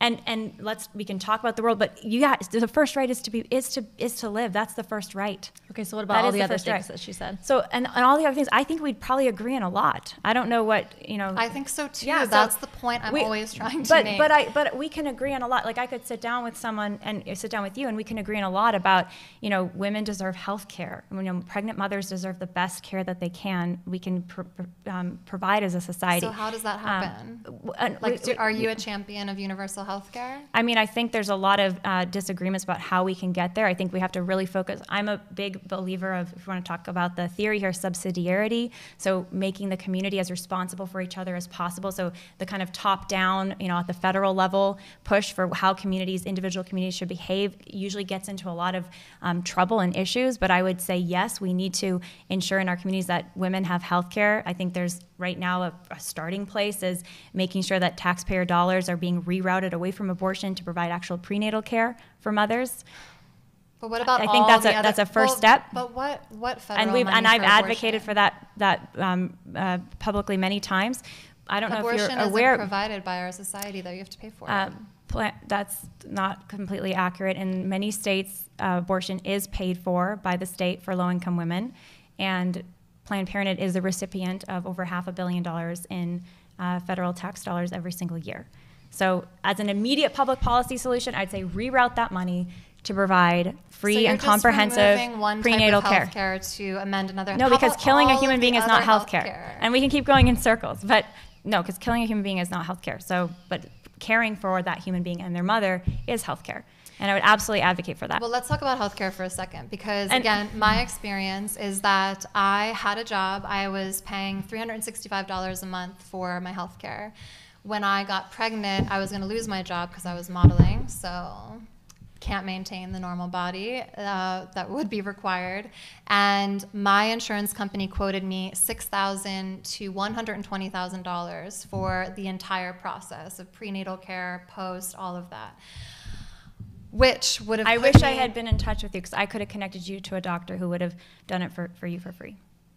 And that's where Was that accessible to like everybody? if, if, if you're if you're struggling to pay your bills and you're a pregnant woman, I will connect you. And please, if someone's listening to this, and this is a, if someone's listening to this and they are considering abortion because they're struggling to pay medical bills, please contact us. We will connect you with direct payment for your medical bills so that you do not have to have an abortion. don't you do you not wish feel that wasn't on your shoulders? Like, Well, don't, you just said we should take these problems on your shoulders, though. No, I mean, I feel like I wish our society took mm-hmm. care of us. I wish America was what I believed that it was going to be when I Well, was little. I think the difference is that like one side, you don't want to push it to like both camps extremes like that, but there's differences of opinion on whether it's the most helpful for the government to delegate all the tax Yeah. dollars and all the all the ways to help people, or if we should have more of a focus and an emphasis towards valuing helping others. I think in it's a community. mix. I think it's a mix. Yeah. And I think that we can't make it all or th- or one. I think there's um, it's complex and different communities are different, but it is a mix. And I think that we have some social safety nets, but I would passionately support, and I do, and Live Action does, the networks of support that exist and are growing for young families, especially low-income families and young mothers. So Well, is that about Middle sufficient? class families, because middle class people have the And most those difficult two, time. those two, paying. Brenda, those two. I mean, Would that it, would that be a sufficient way to move forward instead of focusing on like tax dollars, doing something like that? Um, because some people disagree that like tax do- that tax dollars are spent very efficiently or wisely, and Yeah. so would something like a nonprofit like this trying to help women who are suffering. I mean, as an example, there's would that be Obria, there's like Obria champion? Medical Clinics. I've served on their advisory board, and we've worked closely with them in the past. And they have been working over the years aggressively to try to create a national brand, so it's recognizable. It's easy for women to know they exist. Because I think what you just said, you said I didn't know, like you didn't know that there was someone who could have helped maybe pay those bills if you knew who to email or who to you know what hotline to call. And that's a tragedy you know because those resources do exist. And so you know one one example of this is obria medical clinics which are pro-life clinics providing prenatal care uh, care for for uh, healthcare for women providing also resources when you've had your baby um, financial support uh, even parenting classes. I mean a whole gamut of support for a woman who might be in a, in a situation of need uh, or, or young men, families. It can, it can be for both. And what's so tragic is they've had a struggle to even get taxpayer dollars, some of which are going under the same grant fund to Planned Parenthood. Because why? They're pro life. So, you know, we- we're in a society where you're saying, well, the government needs to do more. The government right now is blinded, our, especially our current administration, as by the lethal killing of children as a solution to problems. And so a lot of the, the air in the room and the funding is going that direction as opposed to going towards pro-life solutions for I mean, mothers this and makes children. me sad because why do we just have to funnel in one direction or the other? Like, right, I- it could be both. Yeah, like I, it should be both, in my opinion. It should absolutely be both. We shouldn't have to be like taking this little slice of pie and being like, please give it to us. No, please give it to us. It's just like women's healthcare, pregnant people's healthcare should be top, top, top tier priority. Again, we are not addressing the maternal death. Mm-hmm. Well, I in think this what country. she's saying when when I said it could be both, I think just to be clear, so we're on the same page, we're talking that it could be tax dollars and it also could be private organizations helping. I right? mean, are you are you for that? Well, for the record, I would like to say this kind of conversational attitude gets me going. Yeah. Because I'm like, oh, now Yeah. we're going somewhere. Mm-hmm. Like, Yeah. this is meaningful to me Yeah. because what it shows is like, this is what I want to talk about. Well, I- How lot- do we protect women who are pregnant? How do we protect people in these circumstances? How do we Yes. let them know what funds are available to them? What's the best governmental pro- program to help make sure that we are taking care of these people? If we were arguing about that, like what's the best way to save black women from dying in childbirth? I would scream all day with someone about that if we were talking about Like legislation solutions. and solution like this is meaningful to me. This to me is where we will intersect and actually start solving these issues. Okay, Lila, to Mm-hmm. kind of address, she brought up a great point about all these specific issues, and you in live action are doing a lot to help. Like you're explaining your specific Mm-hmm. instances where you're helping individuals and communities. Um, but since there was literally, there's a lot of eh, like issues that she brought up. You can't Mm-hmm. take on the burden of all of it. And like what she's bringing up, you know, there was over 600,000 abortions last year. It sounds like you want to ban all abortions from happening. Mm-hmm. So that would be 600,000 more kids, a lot of them in poverty and in tough situations. So I, the question is, what is your plan to deal with that? But that's not fair because, like what you said, is like that can't all be on your Mm-hmm. Well, shoulders. I know, well, fair. I- this well, is what her whole life well, is based on. well, no, that I it, want like, to start by just saying, and to anyone listening right now, you can be against and proudly be against lethal violence against a developing child in the womb and not feel like you have to go out at the same time and magically on your own solve every social ill that we face, because we face many. You can be proudly against lethal violence against children and not feel like um, you can't be against it unless you go out and solve every social ill in the world. That said, um, the social ills deserve attention, the greatest of which is abortion, because it's the killing of over 800,000 children a year. Our other social ills deserve attention. I don't know if you kind of follow what I say online, but I, I occasionally speak out against other social ills that I perceive. Um, and I'm concerned about. Live Action certainly is involved again in connecting women to support and resources. Our primary focus is education because I have found that sometimes it is simply education, having awareness of your own. Um, the, the, the development of your own pregnancy, the development of that child, the facts about the abortion procedure that can mean life or death for that child, and what the lifelong sex education? and the to not get lifelong to just finish and the lifelong regret of abortion that many women experience that simply education on abortion procedures its risks and the development of the child can mean life or death for the child and mean avoiding a lifetime of pain and regret for a mother. So I think that Yeah, that's is fear, I think that's my a, opinion.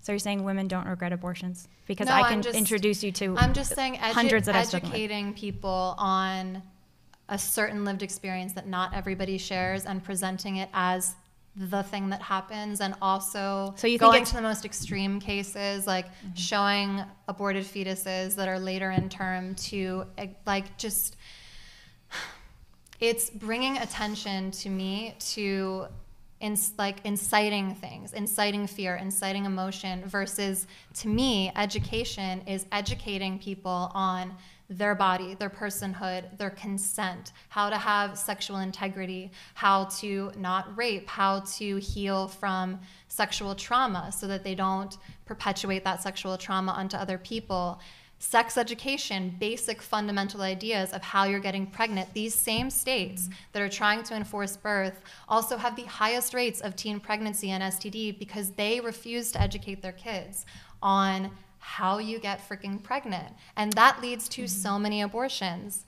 So I I would just What are your push back on on, multiple things that you just said. Um, I think there's some inaccuracies there, but just on the last thing that you said, which is you started talking about sexual um, sex education. Mm-hmm. Before going to that, which is another topic we can discuss, um, you started off, you know, you were responding to, by saying to tell a woman about the abortion procedure, you said is somehow, I think this is what you're saying, correct me if I'm wrong, is somehow fear, you know, instilling fear in them. And I, it's baffling to me, quite frankly, because I, I think informed consent, even if you're an abortionist, you know, and, and you should at least your patient deserves to know what that abortion you procedure say it with entails. so much emotionality. You're uh, like, and this. So I would I would direct you to the resource we use because the the primary resource that we use are medical professionals, former abortionists explaining the abortion procedure and medically accurate depictions of the abortion procedures. And those are the primary vehicle that we use along with, you know, stories. But you're the figurehead. So this is the kind of information. so you're saying I can't so I, I'm trying to understand. So you're saying that it's wrong to be passionate against violent act against children because that would instill fear in someone? No, And- I think it's wrong and misleading to say that there's only one experience that people have of abortion and there's only I didn't say that, Brenda.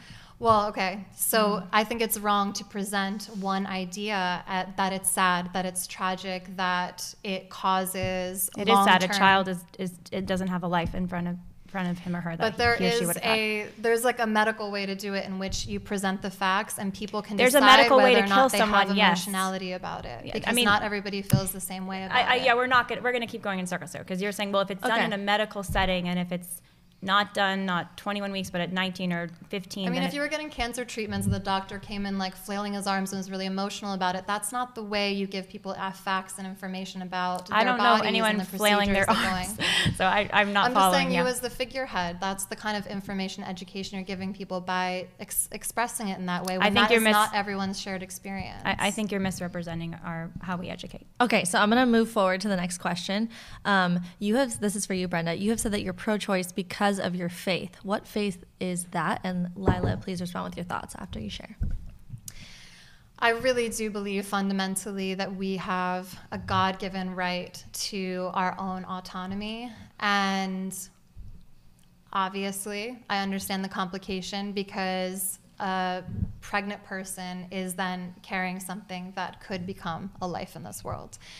But when I look out in the world and I see things through the lens of my Christian faith, and when I see things through the lens of the way Jesus behaved and walked through this world, I see so many egregious tragedies that can be prevented all around me. I think it is exciting that so many people are waking up to all of these things that they had no idea about before. Like for me, I understood poverty and racial disparity and racism growing up just because I had a front row to segregation by means of watching my dad go to a school that he would never permit me or my brother to go to because it was dangerous. He had like four or five kids die throughout every summer, and he would come and sit down with us September 8th and be like teary eyed and be like, we lost so and so, so and so, so and so to gun violence and, and hunger and different things that were happening only in this community 15 minutes away from where we lived.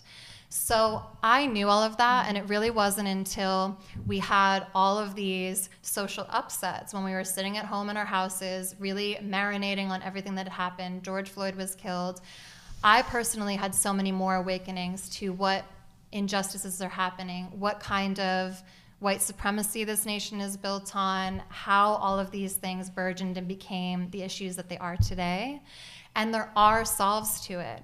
Like when you looked in the camera and said, This isn't your responsibility, that might not be a quote, but it's not your responsibility, I think you said, to to take on the burden of every social ill. No, I said you can. I don't know the exact uh, quote, but it's, something it's like important that. to, to get the quote No, no, correct. yeah, I get said it right. you, That's fine. You, anyone listening, can be proud of being against lethal violence against children without feeling that they have to solve all of our social ills before being against lethal violence against children. Okay, yeah.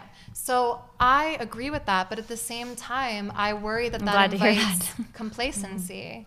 Uh, trust me, the pro life movement that I am involved with, the thousands of activists I work with, are anything but complacent.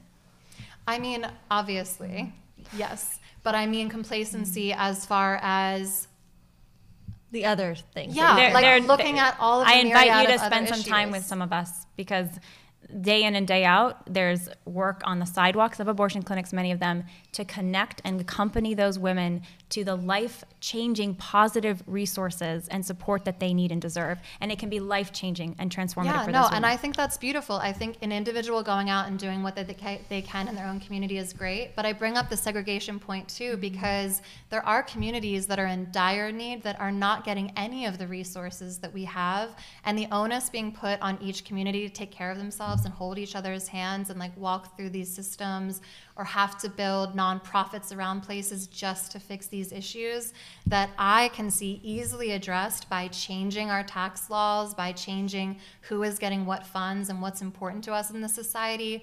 Our legislators, our higher ups, the Supreme Court, et cetera, are not properly prioritizing to me the things that would be aligned with preventing abortion. There are statistical facts on what prevents abortion, like mother effing sex education. And to watch people continually, again and again, rally against that, like that's what I worry about because when I don't know what you're referring to there. I, I'm talking about again sex the like looking exactly in the camera moment uh, because it's my projection of what I can imagine people how I can imagine people reacting to it and that doesn't come from nothing just being on social media I have learned how people respond to things how they receive information and with something like that I think a lot of people feel very comfortable being like, I'm a Republican because I'm a Christian and because I believe in the right to life. And they'll celebrate what's happening in Louisiana or Texas with abortion, thinking, great, it's going to get solved. And that is the complacency that I meant, not your complacency or the complacency of your organization, but the complacency of being like, great, like we have made it illegal. Now it's going to be better. There's so much statistical fact to show that that is not going to get better, that women still do seek abortion, even if it's illegal. They've done it in dire circumstance because there is not just fear around this. Again, like I said earlier, they are valid concerns that I still haven't seen addressed in the party that deems itself pro-life. And again, I don't know what like political mm-hmm. organ or affiliation you have, but like can you recognize the disparity in that? Can you recognize mm-hmm. that in a state like Louisiana, if they are against comprehensive sex ed and they're doing abstinence only education, that that is counterproductive to the work that you are attempting to do? I think we can get into a discussion on what you mean by comprehensive sex ed. And I think that absolutely um, women and girls deserve to be educated on their fertility, on their bodies. I think that, too. and men should too. I agree with that. I agree with you. Um, I think that when it comes to sex education, a lot of it centers around the bio- biological act of sex, which I think is important. But I think what's most important is relationship education for healthy relationships. This is where sex happens, healthy or unhealthy relationships. Yeah. And that needs to be the large focus. Unfortunately, a lot of the comprehensive sex education that you mentioned that I have looked at, especially coming from groups like Planned Parenthood, does not do that. Um, it's actually toxic and promotes uh, sexual behaviors and activities that are harmful, that lead to increased pregnancy, that lead to um, psychological, emotional problems. So we could get into a conversation on that. Planned Parenthood prevents so much pregnancy by giving access to birth control that I otherwise couldn't afford if I because because we have no universal health care. And also that is not true. I'm a i'm a mm-hmm. comprehensive sex educator myself.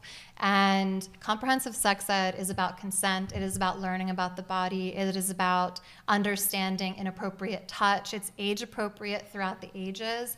It also is beautiful because it will help people not instigate sexual violence against one another. I think again, you want me to be really careful about the way I perceive and speak about your movement. Please do me the same honor. Comprehensive sex ed is mother effing beautiful, and it statistically delays sex by two years in countries that actually do this service to their children and teens. Because when we have a fear based, fear centered education around sex that is abstinence only, just wait, and doesn't give kids any information that they actually need to prevent pregnancy, STDs, it is exacerbating the problem that you are trying to solve. And this, again, is another thing. Like now I feel like we're off the mouse wheel. Can we get off the mouse wheel and be like, can we agree that comprehensive sex education that is age appropriate, that does include relationship and honoring of one another is something that we should have nationwide so that the problem that you're trying to address isn't as enormous as you're dealing with right now. So you mentioned Planned Parenthood's comprehensive sex education. Just so you know, I'm not yeah. hanging my hat on Planned Parenthood. Like well, you just I'd said rather, you loved them. You said earlier, I think you loved them. So I'm, I'm trying to understand what you mean. I appreciate I, what they've done for me because they were the only access to women's health that I had when I needed it, when I was living in poverty myself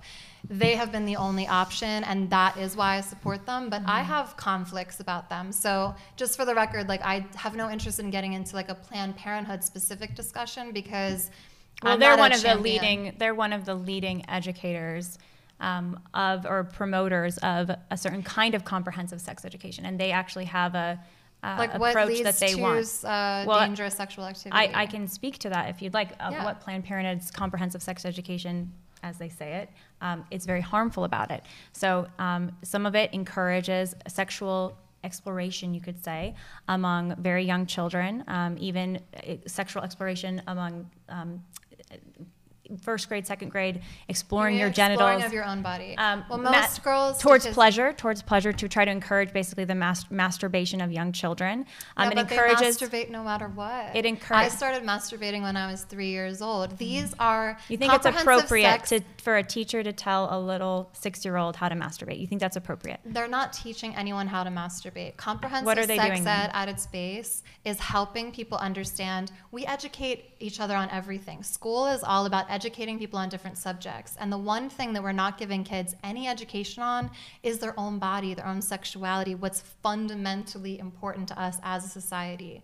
So then well, it mm-hmm. leaves the onus on parents to do that education, which they don't even have the tools for. And the average age that a child discovers pornography is eight years old. It's horrific, yeah. So and a lot of the way to skirt mm-hmm. that is to educate. This is these are fear and lies around uh, like comprehensive sex ed. Like again, what is a fear and a lie? That the teachers are showing you like this is how you touch your vulva. There are actual the curriculum that good. there's actual curriculum that shows images of young children and encourages them to masturbate. And I can, you know, we can do an addendum and I can send you the link and you put it in the Yeah, in the, I mean, I'd be curious so to see that. That's not the I can, education that I, I, have. I'm glad to hear that. But I, also, I can, I can continue to speak to Planned Parenthood's comprehensive sex education, as you call it, if you'd like to talk about the issues yeah, that I have with it. Let's go into it a little bit. Um, and, and, and, and as the proactive, I'm a big fan of something called fertility awareness education, which is really essential to what it means to be a, to, to have your sexual development happen. I mean, what is happening in your body? What what does that mean to, for as a woman? How do you be a healthier and happier? And then on top of that, relationship education, which it sounds like you're also in agreement with, but that can go a lot of different ways because Planned Parenthood says to young teens that you alone know when you're ready to have sex that it's not there's not some moral um, uh, universe around it that you get to decide 100% and your decisions are valid as long as you know you're not being a victim of sexual violence basically. Basically consent is their only moral um, value that they place on it. And i think that's incredibly harmful to but that's teenagers. up to you as a parent. And also well, well but it's, it's not up to me as a parent if planned parenthood is in my school promoting that kind of garbage to my Well, young I, children. I don't think it's garbage. I think everyone, again, I'm a big believer in So personal think- autonomy, and I believe that teenagers and even preteens are much more advanced than we give them credit for. I think agree with that. Minimizing a person's ability mm-hmm. to make wise decisions for themselves by giving them full access to all of the information that they need about their body and their sexuality promotes healthy decision making naturally. And then when they go home and they can have additional conversations with their parents, you could add addendums to that that would include your religion and your religious values that might not be taught at school. It's not anti religion, it's not pro having sex young, quite the opposite. It's about giving kids all the information they need to make wise, informed decisions about their body. I, I, I think this conversation might not go as far as we would hope it would because you're using this term comprehensive sex education. Mm-hmm. I'm giving concrete examples of what is included in Planned Parenthood's version of comprehensive education. I don't have a problem with either of those, though. I have a problem But with you the way you're framing it. You're framing it in a moralistic way, which is I'm telling So you that you don't think there are moral, uh, m- there's morality around sex? I think that everyone's morality around it can be completely different. You, So- as a Catholic, are going to have different morality So you than don't, a Buddhist you, friend of you mine. don't think that there are any foundations for morality around sex? Absolutely. Anything goes. Comprehensive sex ed educates What does that mean? Let's- that. let's talk- It's consent. So, it's so consent is the morality that is sufficient for you when it comes to sex. As long as the person says that they agree to it, it's sufficient. No, it's incredibly complicated, which is why it usually in other countries and like Norway and Sweden, they begin at five years old and do an age appropriate conversation throughout their entire education because Well, it's an evolving conversation But you just as said their yeah, I understanding think- evolves. But you just said, Brenda, that everybody gets to decide for themselves, Absolutely. including children. And I'm trying to I to. didn't say including children. I think You that we were talking about children. We're talking about sex education for I'm children. going I- to tell that's you, I, I, thought we don't have talking any. Mm-hmm. problem with either of the two points you just made. The way they're being framed is like more inciting than I think is necessary. How because how, it, how is it? Uh, how is it being framed? That's not. I guess what's called a child. Well, let's yeah, figure out trying to- what's a child. What's a child? Like, what do we? Because because I guess when we were talking about, mm. you know, like a, a child who was pregnant at ten or twelve, like that's considered a child. Like you'll use that word child, but right now it sounds like you don't want to use the word child if it comes to comprehensive sex ed at ten or twelve. Oh, or do you think no, that's yeah, a child? no, you- so no. what age is you- it you- no longer yeah. a child? Not it, but what age? What like because because I I, think that's where 13 when I, you thi- become think that's where we're getting hung up, or where you two are getting hung Yeah, up no, because I'm, well, yeah. I wasn't. I'm not hung up on that language. I'm Okay. very comfortable and confident saying there are children, there are preteens, there are teenagers. Yeah, okay. Like, yeah, Yes. I'm, I'm in So agreement. what So you when you made up the comment that they get to decide completely what's right for them, there's they shouldn't have some morality or some sort of um, compass for their behavior imposed on them. I, I just find that incredible to believe because certainly you think that there are certain. Uh, you know, rules of engagement, you could say, when it comes to sex. And then you mentioned there is one, there's consent. And then I asked you, is, well, is consent the only one? Is that the only kind of. No. Okay, then okay, what so else what's is there? another one?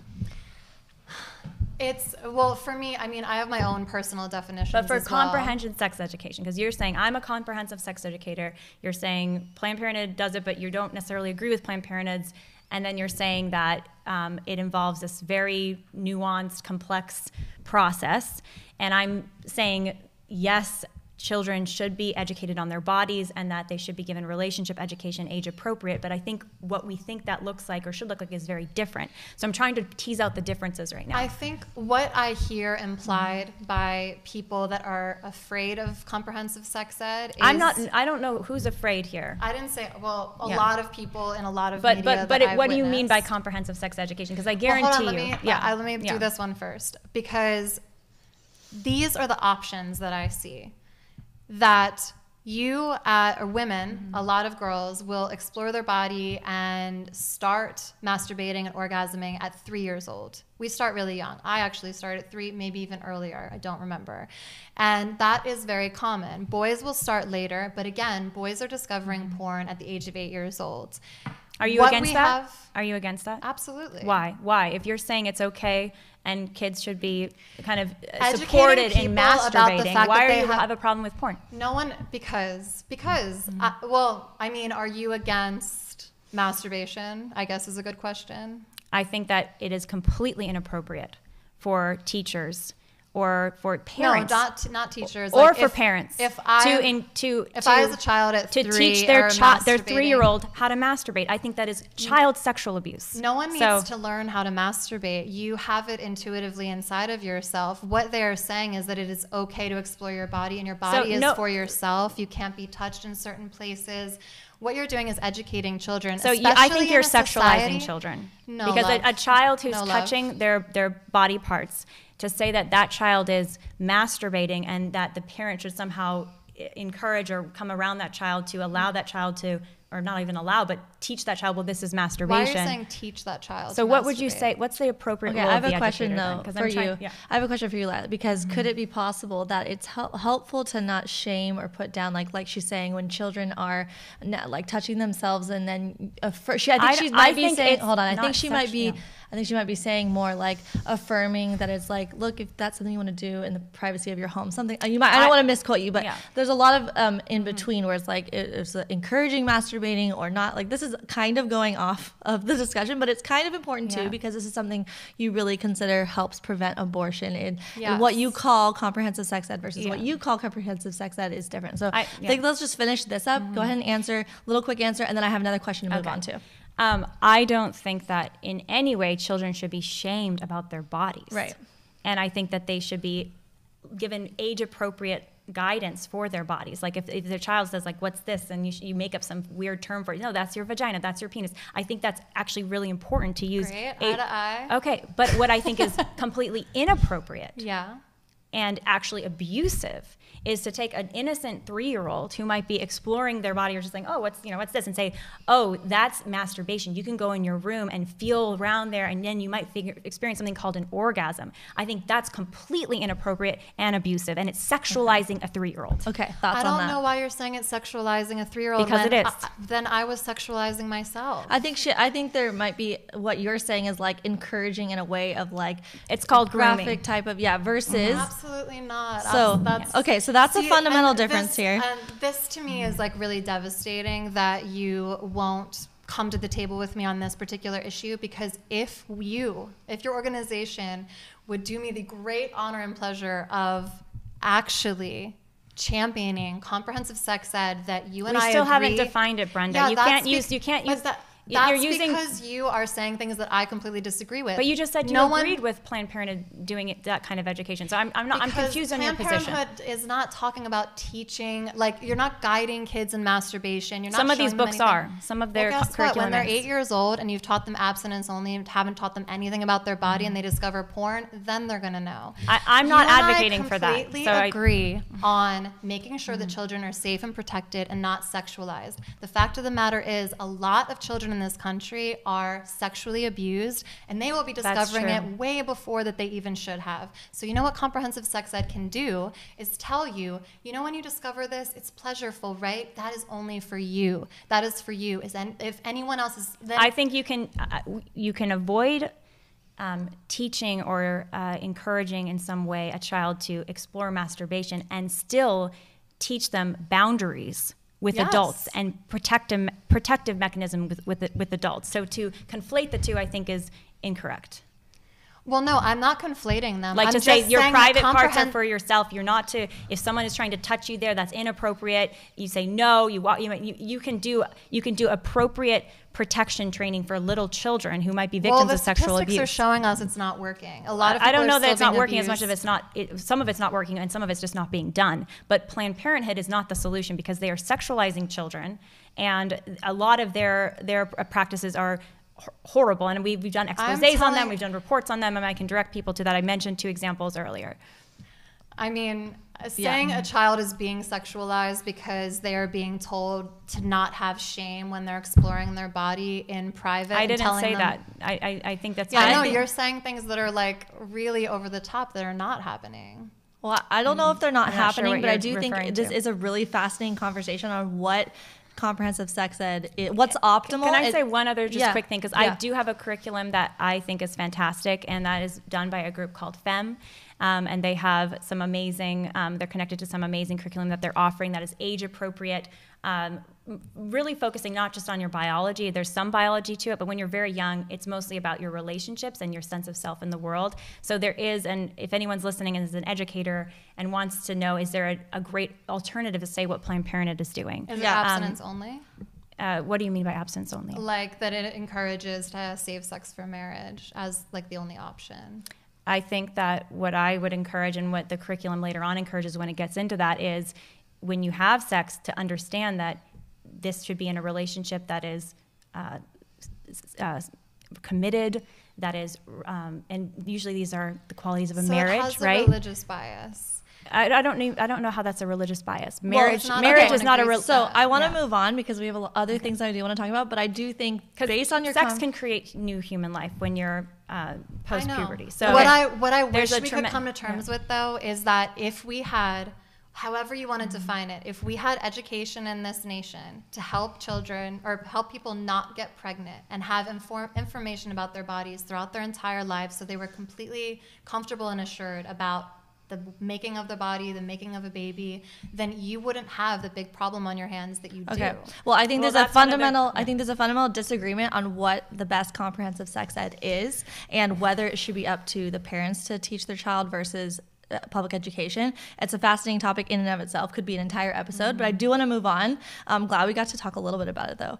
Um, so let's talk about some challenging circumstances, which is a lot of the for, like uh, the conversation around abortion, right? Like back to that, right? Even though this is so important, I know that the Oh, yeah, comprehensive sex ed for sure. I know that this is a big part of like the conversation that's formed around what helps prevent unwanted pregnancies and all that. But Lila, what is your position on? I know you kind of talked about it, but let's like elaborate a little more. And then I have a tough question for a, um, uh, a circumstance Oh. for you, for a cer- an, uh, like a hard circumstance for you as well. My first question to you though, Lila, is what is your position on abortion when it comes to the horrific instances of rape or incest, or when there's an extreme health risk to the mother? So often, a lot of times when people talk about abortion, it is or, and like pro being pro-choice is like well how could you limit that for women who have extreme health risks? How do you respond to that? Um, rape and incest are horrific, and um, a survivor of sexual violence deserves all the support and care, counseling, um, supportive people around her. We need to be much more aggressive about prosecuting and holding abusers accountable because there's a lot of abuse running rampant in our society and abusers are not held accountable. Uh, if a baby is conceived, there's an innocent third party now. There's another human life there. And so the solution to sexual violence can never be uh, homicide, can never be taking out the penalty for the crime um, onto the child. I mean, that's this myth of uh, generational sin that you're, in- in- the myth of general- generational sin in the terms of consequence that because your father was a rapist, then you should bear his penalty or you should bear a penalty and be killed for it. You don't deserve to live. You're, you're less than human. So I think that in that situation, they deserve the care and support. They deserve, women deserve, survivors deserve care and support, but the solution can never be to kill that child. and what about the extreme health risk of the mother Um, for extreme health risk of the mother, I mean, there's a common misconception in the abortion debate um, promoted by the pro abortion side that abortions are medically necessary, that you need to intentionally end the life of that child in order to somehow provide medical care for the mother. And I work with thousands of medical professionals who say adamantly, no, we can care for them both, and we should. And if we want to improve maternity, uh, maternal mortality rates, if we want to improve um, the condition of pregnant women in this country, we will not turn to knee jerk having an abortion in the pregnancy, kill the baby anytime there's a health issue or crisis. We need to work on addressing what are the underlying conditions that that woman might have that is making her pregnancy more difficult. How do we accompany her and have the right checkups and routines in place to ensure that we're catching something in time? There's a lot you can do in the medical process that doctors do do, pro life doctors, to care for both patients, and that's what I would advocate for. Okay brenda response I mean, I agree. Abortions in later pregnancy are not, I mean, they cause so much pain and strife and heartache. And I've heard those stories and I've talked to those women, and it's, it's truly a horrific thing. So, yes, I mean, I agree. Our healthcare system and the way we take care of women and the, the babies should be top priority. And I'm sure that it is in many instances. I, I think, again, there's not like a nefarious group of people that are just like super excited about killing babies. There are some people that go to that more too quickly. There are other people who do absolutely everything they can to do exactly what you said. I think it runs the gamut. Humanity runs the gamut, but ultimately, I of course agree with everything you just said. So do I- you, do you agree then? Oh, that- not with the rape stuff. okay. Yep. So, th- Okay. so then you can talk about that. Go ahead. Oh, just to respond, you've mentioned this a couple of times. This nefarious group of people Yeah. that doesn't exist that you know are uh, maybe enjoy or you know are profiting from the violence of abortion and. I can tell you that they're, I don't know about the term exactly nefarious, but there are certainly um, very ideologically driven, violent uh, practitioners of abortion. Um, one of them who's in behind bars right now, Kermit Gosnell, because he wasn't, he's not behind bars for killing the child right before birth, but he's behind bars because some of these babies would be born. And this happens in, in late term abortion. A child can survive the abortion attempt because labor has been induced, and before the abortionist has had a chance to complete the abortion, the baby can be born. And uh, Kermit Gosnell is behind bars because he not only killed one of the women in, of his patients, but he killed multiple children after birth. So there are abortionists. I've been undercover with some of them. Our team has been undercover with some of them who are practicing in this country legally, um, who are laughing about how they dismember the child, who are uh, talking about how they use their toolkit to dismember that child, talking about how the child, it's like getting the child run over by a Mack truck um, during the abortion. I mean, really gruesome, graphic things.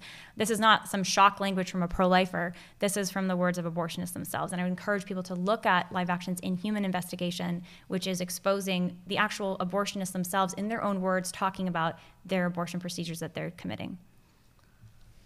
I mean, there's no doubt in my mind that there's a lot of, pardon my French, fucked up people in the world. And I really think that's atrocious, obviously. But the issue is that that's not the majority of abortions in this country. And that's not 10,000. 10,000. It's not nothing. Late term- I'm, that- I'm I never mean, saying that it's not nothing. I'm It's even never. more, more than children that die from guns. And guns, as you said, is a leading cause of death. But the 10,000 leading children. cause of death. Just well, saying but you consider these, anyone ch- but but guns. hold on, you're being in a little bit, you're being contradictory here because you said that uh, after 21 weeks, you consider them human lives, persons that should have legal protection, and 10,000 abortions annually happen after 21 weeks in this country. So that, you know, again, uh, children killed by guns, horrific. Those children are being dismembered, some of them live dismemberment, some of them lethal injection abortions. But I've I've yet I mean I've instigated uh, conversations on my channel. Can't you be I've got- against both? well, the thing is that I am against So you- later later what is it? Abortions later in pregnancy for no reason at all. I guess what I'm trying to say is those abortions, you know, you mentioned how we need to care about the leading cause of death for children, right? And so I'm, I'm just sharing that that's 10,000 abortions, and that's according to Planned Parenthood's research arm themselves, Guttmacher and the CDC. That the latest statistics I've seen, I think from 2021, was about 7,000 children killed by guns, also horrific. So the leading cause of death, even by your definition, is abortion for children. No, because I wouldn't define it that way. And again, it's getting into the irrelevance for me because it's not that it's irrelevant. You can like deeply hold that mm-hmm. yourself. But what I am saying and I've been saying and I will continue to say is that until this place is welcoming to new life and makes the yes to have a baby an easy yes and doesn't have all these obstacles of going into debt for healthcare, of maybe dying when you're there because two out of three maternal deaths could have been stopped. That is egregious to me. It's egregious to me that people get in such dire circumstances of poverty or abuse or of sexual abuse that they do perform abortions on themselves if they're not accessible legally. So, So would you support banning abortions? I'm, I'm confused about your position because at one point you said they're children and now they're not children again. Would you support banning abortions after no, I 21 know. weeks? I'm just laughing to Yeah. I'm not laughing at you. I'm Yeah. laughing to myself because I'm I'm admittedly telling you that Mm-hmm. I have not thought a lot about that terminology and that lingo and what I know. Forget the I terminology hold- for a minute. Do you support, you know, you clearly support um, doing whatever we can in public policy to stop gun deaths of children, right? Do you support using law to protect children at 21 and up weeks from lethal injections and dismemberment? Well, I think for me it has to be necessary and a medical necessity. I What medic? What do you mean by that? I mean, there's a lot of cases. I Mm-hmm. also I've like talked to a lot of people. I'm going to also say that I'm not Mm-hmm. completely informed about all of the nuance about what happens beyond 21 weeks, but the people that I have talked to are in great great pain about it. It's not something that's it- done a- willy-nilly. Because they know it's a child and it's extra- And it might actually- excruciating for the conscience. And so it's so wrong of us to say go for it. No, it's not the conscious. I mean, some The men- conscience of the person who's having the abortion, it's excruciating for, for many for many women. I think But you're that's because they that. wanted to keep the baby, but it was medically necessary. and they, if couldn't they were told it was medically necessary, and that is what makes me um, so uh, But we've angry already agreed on our- that. I already, we're told agree- you I agree on that. So If- you if so you do agree that it's that it's not medically necessary that there isn't an instance on that because that is something that a lot of people I think are very very confused. Let's on. put it this way. I'm s- Let's put it this way. In a late term abortion, um, just to keep it very simple here, in a late term abortion, the child, you know, you're talking about a viable baby that you're saying you support protecting their life, I think you is what you're saying. Go into descriptive of how they die because I already know. I mean, I'm, I'm going to share that you can deliver that child via C section or a vaginal delivery. And abortion, the difference between that and abortion, deliver that child alive and give that child a fighting chance. And abortion is designed to first kill that child and then deliver the child. So, what I'm trying to say, and from the medical, I mean, back to the question of uh, medically necessary in, in the late term, and, and it's for the early term too, and we can talk about that more if you'd like, but um, you can let that child live. Because in any procedure used to deliver that child, if it's an abortion, you're killing the child first. Just let, let, them, let them live, let them be born alive.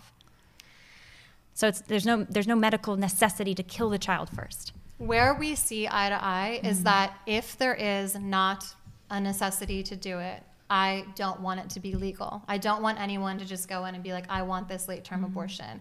It costs $20,000 anyway, so I don't know who. Well, the state of California, that. the state of California will pay for it.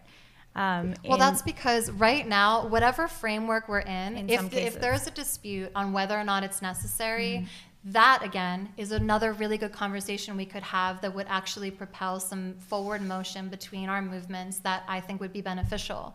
Because if we do decide together as a team that there are circumstances in which it is egregious and it is not necessary, then we could champion that together. And I could agree with you that that wouldn't be right, whatever that circumstance may be. You but seem- the current knowledge that I have is that it is considered a medical necessity in all different kinds if of your source is. Planned Parenthood, yes, you will get I don't answer. only have one source of Planned okay, well, if your source is abortion advocates, yes, they will and probably women tell who you have that. experienced it. So and what is medically experienced it. So, what is medically necessary? What does medically necessary I mean? admittedly don't know enough about it Yeah. to tell you. All I do know is that I have not once spoken to anyone who is like willy nilly did this because I decided to. It is an incredibly traumatic, difficult decision for people to make. And it is a decision that they feel and their doctor and their care provider felt was out of medical necessity. Did Okay. you know? I mean, Wait, I have a question. Two things. One, so do you think that doctors are lying to their patients that they need an They're abortion? misle- many are misleading them. Okay, and then two, can you guys get on the same page then, based on the way you're explaining and based on what it sounds like you might be saying? I'm not totally sure that you both agree that late at least late term abortion is never medically necessary. That instead you can induce the baby. It's absolutely and to not try to medically take care of that baby. Or do you agree that no, that I'm medical? not agreeing with that. I'm Okay. saying that I don't have enough information on it, but the current information I have on it is I- that I- it I- is that's medical hard. It's- necessary in yeah. certain cases. On- and on- if it's yeah. not, mm-hmm. I would get on the same page with you and Okay. say, well, then there needs to be more information, mm-hmm. and people need to understand that there is more choice than one. But if there is more choice than one, and if it isn't medically necessary, then you know, either way, these people are going through an excruciating decision. The, the abortion is very excruciating for the child as well. I mean, a doctor should never be misleading anyone into anything. So I agree with you on that, but I don't. I don't know enough about late term abortion or abortion later in pregnancy to actually get into the mire of what that looks like. Okay, what about um, abortion being considered medically necessary in the beginning of a pregnancy because I've you know I've seen stories where women are saying I, I got pregnant I wanted to have this baby but I had to have an abortion because of specific medical mm-hmm. issues medical not saying necessarily just you know mm-hmm. the child had a fetal abnormality or anything like that but maybe health risk of the mother can you explain your position on that and let's see how you feel about that if there's any common ground as just an example um, Dr. Anthony Levatino, who is one of the uh, professionals, medical professionals that we work with. He was one of the ones who was behind our first abortion procedure series, you know, explaining what happens during the abortion procedure. He worked at a high risk um, facility in Upper New York uh, for many years, uh, treating uh, tens of thousands of patients. And he said in his entire time treating high risk pregnancy, so he was a specialty doctor to go to my clinic to do that, he never had to use abortion to resolve the medical emergency or, or you know make the, the pregnancy or the mother healthier in some way so, so, what is the difference then? Because like let's say there was something. Are you saying because it's the way that you do it? Like if you uh, induce the baby, even if they're before viability, you know that child won't survive. That that's not abortion. Is that what you're explaining? Well, I mean, you're, are you talking about the distinction between care for a pregnant mother in a risk high risk pregnancy situation yes. in the late ter- later term no i'm talking in the, term? in the earlier terms like if we can acknowledge and agree like you're saying you're not so sure um, but if you ca- if you come to the if you came to the conclusion that oh okay yeah late term uh, pregnancy that if they were told that you know you, we have to abort your baby because of xyz medically necessary you're saying instead induce the baby which induce the baby and give that child a fighting chance mm-hmm. which is what i've seen other doctors I say as well i think that can, but the first yeah. the beginning of pregnancy mm-hmm if someone is like like if, if there's a certain situation where there's something very extreme health risk of the mother and the baby are you saying that instead of you know dismembering the child in the way that you depict what mm-hmm. abortion is instead if you induce the baby that that's not a, not abortion because i think people are really confused yeah. at what the what the difference is what I, is I think abortion, i see what not. you're saying i think yes. i see what you're saying and i think oftentimes the very high risk stake situations with pregnancy happen later on in the pregnancy and so that's typically where the, this conversation is landing about these later term situations in some very rare cases, there might be in like an emergency situation, there might be the need, extremely rare cases, and so rare that even this doctor never saw this case in his clinic, right? So we're talking less than 1%. Less than probably 0.0001%, extremely rare cases where um, labor might need to be induced before viability. And these are extreme cases. And even some doctors, pro life doctors you'll talk to say, like, well, if you just give them a couple more weeks, you manage the pregnancy, she's in the hospital, watched her vitals, we can make it for both lives. We can still make it for both lives. So you would get pushback from some doctors on this. But in that situation, if it's a game time decision and that's, you know, that's not possible for some reason, I think there could be some um, you know, if the if the goal is not to kill that child, you're not going in there dismembering that child, but you're inducing an early delivery and hoping that you can provide care for that child to live. That's not an abortion. Okay. Do you so agree if with that's that? your question. Do you agree with that? Yeah, I mean, no, it's really interesting. Like, I need more education. But that's not what's this. happening. I mean, what's happening is they're going in there and they're killing the child. I mean, so that's that's how abortions well, are done. I, so. The reason why I think this topic is so important, Len and Brenda, you yeah. go ahead and reply, is that this is a really common reason why people are pro-choice because they say, for one, what about rare extreme circumstances, horrific mm-hmm. instances of rape and incest? For two, and then the other example is, you know, extreme circumstances of the health risk of the mother or non-viability. Well, actually, the, the most prevalent one is not even those two because like for example state of florida um, they, have, they have research on how many um, of the abortions are in the cases of rape or incest it's 0.2% oh no right? i meant the so, reasons why people say pro- okay. why they are pro-choice well not saying mm-hmm. the reasons why abortions happen mm-hmm. i think mm-hmm. we're all in agreement of that but just saying this is why i'm pro-choice yeah. because of what about these circumstances well a lot of the times it's i think there's even another dimension to it which is that um, especially those on the pro-abortion side are saying we need, and then they use like it's a medically necessary abortion, that language is sometimes used. They're actually not even talking about a health condition the mom has. They're talking about a fetal abnormality, a disability that the baby might have. And they'll say, this this abortion was medically necessary because my baby, they might not use the word baby, but because the fetus or something has some sort of um, disability. Okay, what are your and, thoughts on that? Yeah, I mean, again, but it's wrong to kill the, the baby. I mean, in that situation, I would say the same thing. It's wrong to kill the baby. This it would be like if you're the doctor that you're talking about before, who saw no instances of abortion in later term. He was high risk pregnancy in general, so it's it's largely the later term is when it becomes high ri- most high risk. So yeah, I mean, yeah. pregnancy is a risk, and it is it's it's a lot. But if he has had that experience and he has that information and that education and and he knows how to provide a place that those babies can come out and be viable, I think everyone would be overjoyed to hear that, and we would want that information more accessible everywhere. I mm-hmm. don't think there should ever be an abortion care provider misleading someone, not doing their due diligence to make sure that every everything is up to bar and they aren't pushing someone in a certain direction. Like it should be completely unbiased and based Yeah. in reality But and fact. you said earlier that late term abortions can be up to twenty thousand dollars, and that's true. Um, what's the incentive for an abortionist who's doing late term abortions to say, "Don't come and have my abortion. You don't need it."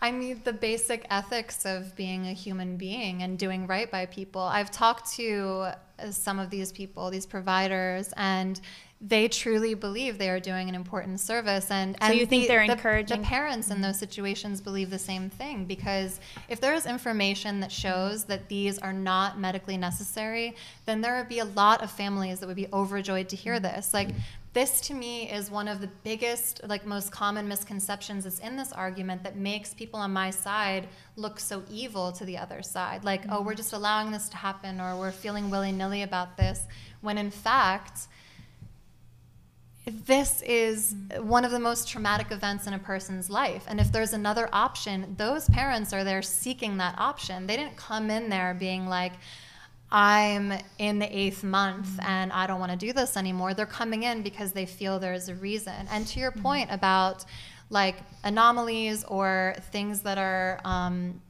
what word am I looking for? Disabilities or anything like that's also a shame. I truly believe that because there's so little education, and I think the U.S. is getting better at that. Even something as sweet as TikTok has been helping people get more accustomed to the idea that there are mm-hmm. people in our society that have disabilities and they're not able-bodied but they're living full and beautiful lives that to me is like the power of a story the mm-hmm. power of understanding that that life is valuable. That is something that actually is really important to me. And then again, goes back into the idea of okay, then are we putting them into a society and into a place where they can thrive in that body?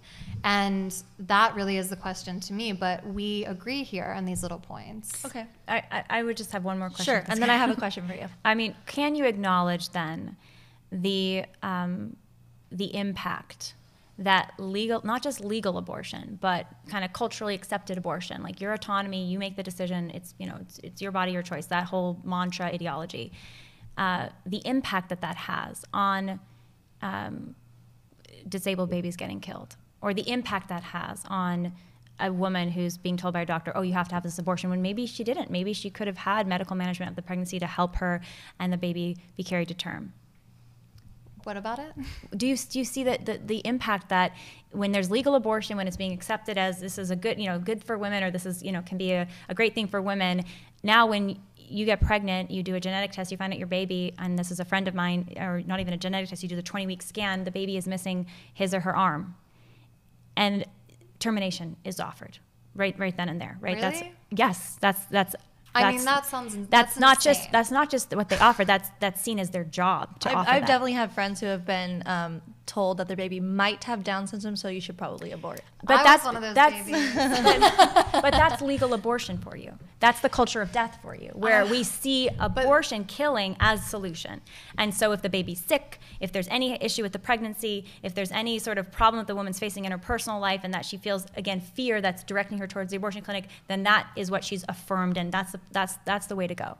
Yeah, I, I completely agree with you on that. I think, again, that there needs to be structural things implemented, resources easily accessible. If you have these resources, people should absolutely know who they are nationwide. Mm-hmm. And doctors should not have any bias lean towards wanting to perform abortion or to, especially if someone is coming in, or Well, if you- maybe exclusively, actually, if someone is coming in and saying, I don't necessarily want this. My partner is abusive. I'm living in poverty. I don't know how I'm going to pay for this. I would love to live in a world where that did not lead to an abortion because there was that support there, which is why I do mm-hmm. appreciate this work that you're doing. But as far as choice, I still think that there are so many cases that don't fall under that category. I had an abortion that was autonomous. I am not in pain about it. It's not carrying through my life like a trauma. That's my own experience. I've internalized it in a very personal way that's meaningful, that's spiritual. And you and everyone, I think, has to grant the fact that people are going to have a myriad of different feelings about this, and there's just not one thing. And again, come to these agreements where we find them and see what we can do about them. You and I both agree that doctors should not be pushing this as the only option. But I also would add to that, we also need to make it so our society is a place where that option is accessible, mm. where you're, we don't have to experience that fear because that fear is no longer valid. Oh, my, my kid does have childcare. Like, I'm a single mother who's working. I have five years to try to figure out how the hell to make money. I would love to get another job to supplement my income so I'm not struggling as much as I am right now, and I can't. So things like that have made my life so much harder and put an undue burden on me as a single mother. And we do that in so many different instances. So again, how can we make this world better to invite that okay. to invite that yes okay so i'd like to ask another specific like challenging circumstance on your opinion on um, the topic of sex selective abortion where for example the parent chooses to abort the baby girl because they're specifically wanting a boy what are your thoughts on that i mean i think that's insane yeah. i would think yeah no offense but you're crazy but like, no right. i think or, sorry i'm not ahead. trying to make a joke of everything i just right. like that's that's but it does happen. Really? Yes. Where? Who? Well, 100 million girls have been killed um, uh, globally because well, of sex selective right? abortion. And, and there are rates of sex selective abortion in parts of the United States that are as high as in mainland China because certain communities in the United States are doing practicing sex selective abortion. I mean that's devastating. That's just misogyny and patriarchy at work. That's that's really devastating. But did you know that Planned Parenthood has advocated against bans on sex selective abortion? Well, I believe that would be because they agree that abortion should be performed no matter what the reason. That exactly. you cannot determine what a reason is. It just. But it sounds like you is your choice. disagree with that. Well, I I do disagree with that, and I mm-hmm. believe that there's obviously roots in. So why do you continue? To, why have you said multiple times you support Planned Parenthood? And I, I think it, I, that's hard for me to understand that you think it's completely insane to have a sex selective abortion or support a sex selective abortion. Because that's like a that's like a headline versus what is actually happening. It's a like, reality for but some listen the yeah. headline would be planned parenthood allows for sex selective abortion. That is a captivating headline. It's, it's like oh shit this is crazy. it's not no, listen, I know it's mm-hmm. happening, but the real story, I believe, behind it, from my understanding and education, is that it's not sex selective abortion that they're advocating for. They are simply advocating that you can have an abortion up to a certain point for any reason that the, the a provider providing that service is not to ask or make a moral determination on why you're there if you are there because you want it, they're there to give it to you with the addition of all of the system they have in place when they brought me room to room to check in to see what was happening, why I was there. Like I said, I was there for okay. nine hours. I have a short question for you to answer and then a short question for you, and then we need to get into something really important, which is the foster care and mm-hmm. adoption system, mm-hmm. okay? But short question for you then, if you are adamantly against sex, something like sex selective abortion, meaning there are certain circumstances where you feel absolutely that should be like do you agree that should be illegal then to get a sex selective abortion or do you think it's more just about education and hoping our society doesn't go in that direction? Or is that something that you think should be illegal? Short answer though because i have a question for yeah. No i don't think it can be made illegal because then that all of a sudden puts like moral judgment on all the specifics when in fact it should just be the person's choice. And okay. and then i find it tragic. I wish that wasn't the case. Okay. So lila would making abortion illegal actually reduce abortions Weren't there yes. a lot of abortions yes. happening before abortion was mm-hmm. illegal where people call back alley abortions, which are more mm-hmm. dangerous to the women getting yeah. them? Some people actually say that if abortion was made illegal, abortions wouldn't actually go down. Women who die would just go up. That's incorrect. Um, when Roe v. Wade became, you know, when judicial, not, you know, seven men on the Supreme Court decided abortion for the whole country, abortion, the abortion rate skyrocketed. So absolutely, there are, there are, there will be abortions that happen even when it's criminalized. Uh, that's where societal education has to come into place. Wouldn't that be because they were illegal, so you wouldn't have known how many abortions were happening? There were a lot of estimates being done on how many abortions were happening illegally because there are doctors who were I mean, it makes sense if a service so, suddenly becomes available yeah. that people are but, going to use. But there it. have been studies that have been done, and you know, Texas is the most obvious example right now, and the most recent that when you ban abortions, and this makes sense just for human nature. When you, um, you know, 30 years ago, when we had seatbelts were not uh, required by law, most people didn't use them. Then with education and legal changes, behavioral changes happened, and that's the reality but it's for illegal, abortion so too. You wouldn't actually know how many abortions are occurring because now that we have the pill as well, people can be getting abortions in Texas without them knowing it, and frankly, they wouldn't be able, like if it's illegal and you're going to get prosecuted this, or your mm-hmm. provider is going to get prosecuted, they're going to be hidden. Like the, I don't think there's any way to statistically show that that's true. I mean, even the Guttmacher Institute, Planned Parenthood's um, research arm, has said that the abortion, uh, fewer women get abortions when they are more expensive. As just an example. So when you create a higher barrier to get an abortion because they're not legal. There's not an abortion clinic on your street corner selling abortions, right? Or on your in the middle of your town selling abortions. More women will not have abortion. More children will be have their have their life. Which leads great into the next question. Mm-hmm. That's what I would bring up. Like, so WTF do we do with this excess of children that have been born to people mm-hmm. that did mm-hmm. not want to have them? They were yeah. forced to have. Well, them. that's well, the question yeah. that we're going to talk about the foster care system. Mm-hmm. So the foster care system plays a role in these questions for sure. Lila, one of the arguments against ending abortion is that the mm-hmm. foster care system is already overwhelmed, and that forcing women who are pregnant into motherhood who don't want to be parents will create more broken homes and overwhelm the foster care system even more. What are your thoughts on that? Mm-hmm. I think um, life is worth fighting for. And that has to be our starting point when it comes to a conversation on foster care. So, with that as the starting point, and that includes the life of a foster care kid, and that includes the life of a child who's in the worst situation of abuse. I wouldn't say, oh, it's better that you were not born. I would say, let's get you out of that abuse and let's work to he- work for healing and work for a better life for you. And I think this is where societies have to really kick into action. You know, there's a, there's whole um, pro life organizations were a big part, and we refer for this. Um, we are not doing this, but this is an example. Love Life and their whole focus is let's wrap our arms around this community where not only we're going to shut down this abortion clinic, but we're going to be everyone in our this is a church thing everyone in our church is going to be fostering or adopting and we're going to be taking responsibility for every foster care child in our community. And i think that's the model. That's the way is we take responsibility in our communities for those that are suffering in our communities. And um, i think we also need to have a uh, honest conversation about adoption. Um, I think adoption is not just saying, "Oh, adopt, no big deal." Adoption is a huge deal. That's my next and, question to her. So okay. let, why don't you answer that quickly, and then I have a question to you. But, but one thing on one thing on a, one more just thing on adoption. There are right now um, some estimates up to two million couples, because infertility is a raging crisis, and just a lot of people want to adopt. Uh, who want to adopt that are not able to adopt right now? They ho- would hope to invite a newborn into their home, and they're not able to. I know that's so, ridiculous. yeah, it's ridiculous. And and what are we doing? We're we're killing children instead in abortion we're clinics. Keeping the 400,000 kid in foster care away from those parents. I, it, the well, they're not all available for adoption. The purpose of the foster care system is family reunification, primarily, if at all possible. So the solution to foster care isn't just that we'll adopt all those children out.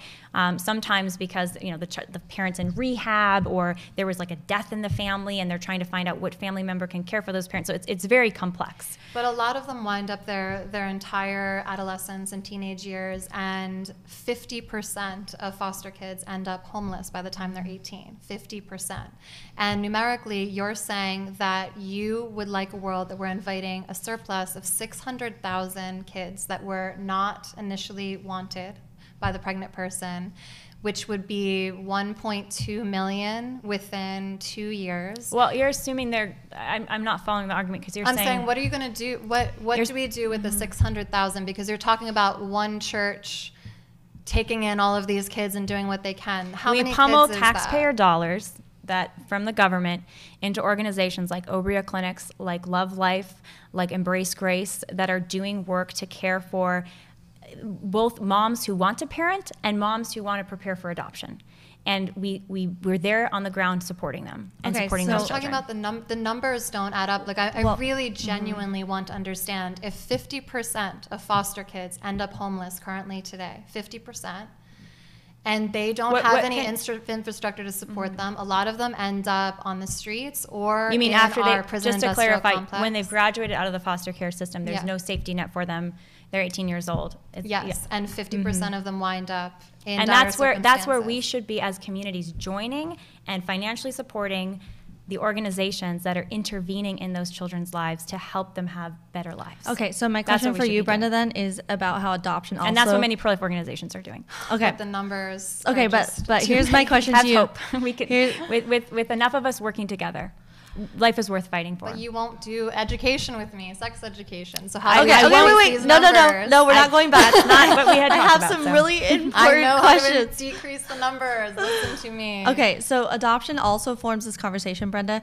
Infertility, like she said, is on the rise, and for every baby given up for adoption at birth, there are dozens of families wanting to adopt that baby. Why is adoption not a sufficient option for those with unplanned pregnancies or unwanted pregnancies? Why can't abortion be banned and create a more flourishing adoption system where babies can go to families desiring to adopt a child? Because a lot of people conflate and get confused with the foster care system and the outright adoption system. Because the foster system is, like she said, you know, meant for reunification. Parents who wanted to keep their babies and um, ended up losing their child due to like drug use or whatever different circumstance. Whereas outright adoption for women who find themselves pregnant when they aren't ready to be parents and don't want to be a parent yet or at all um, can give their baby up for adoption at birth and there will be dozens of families wanting to adopt that baby. So how is that not or is that a sufficient option? Like could that be the solution or do you absolutely feel that even just the pregnancy should be a choice?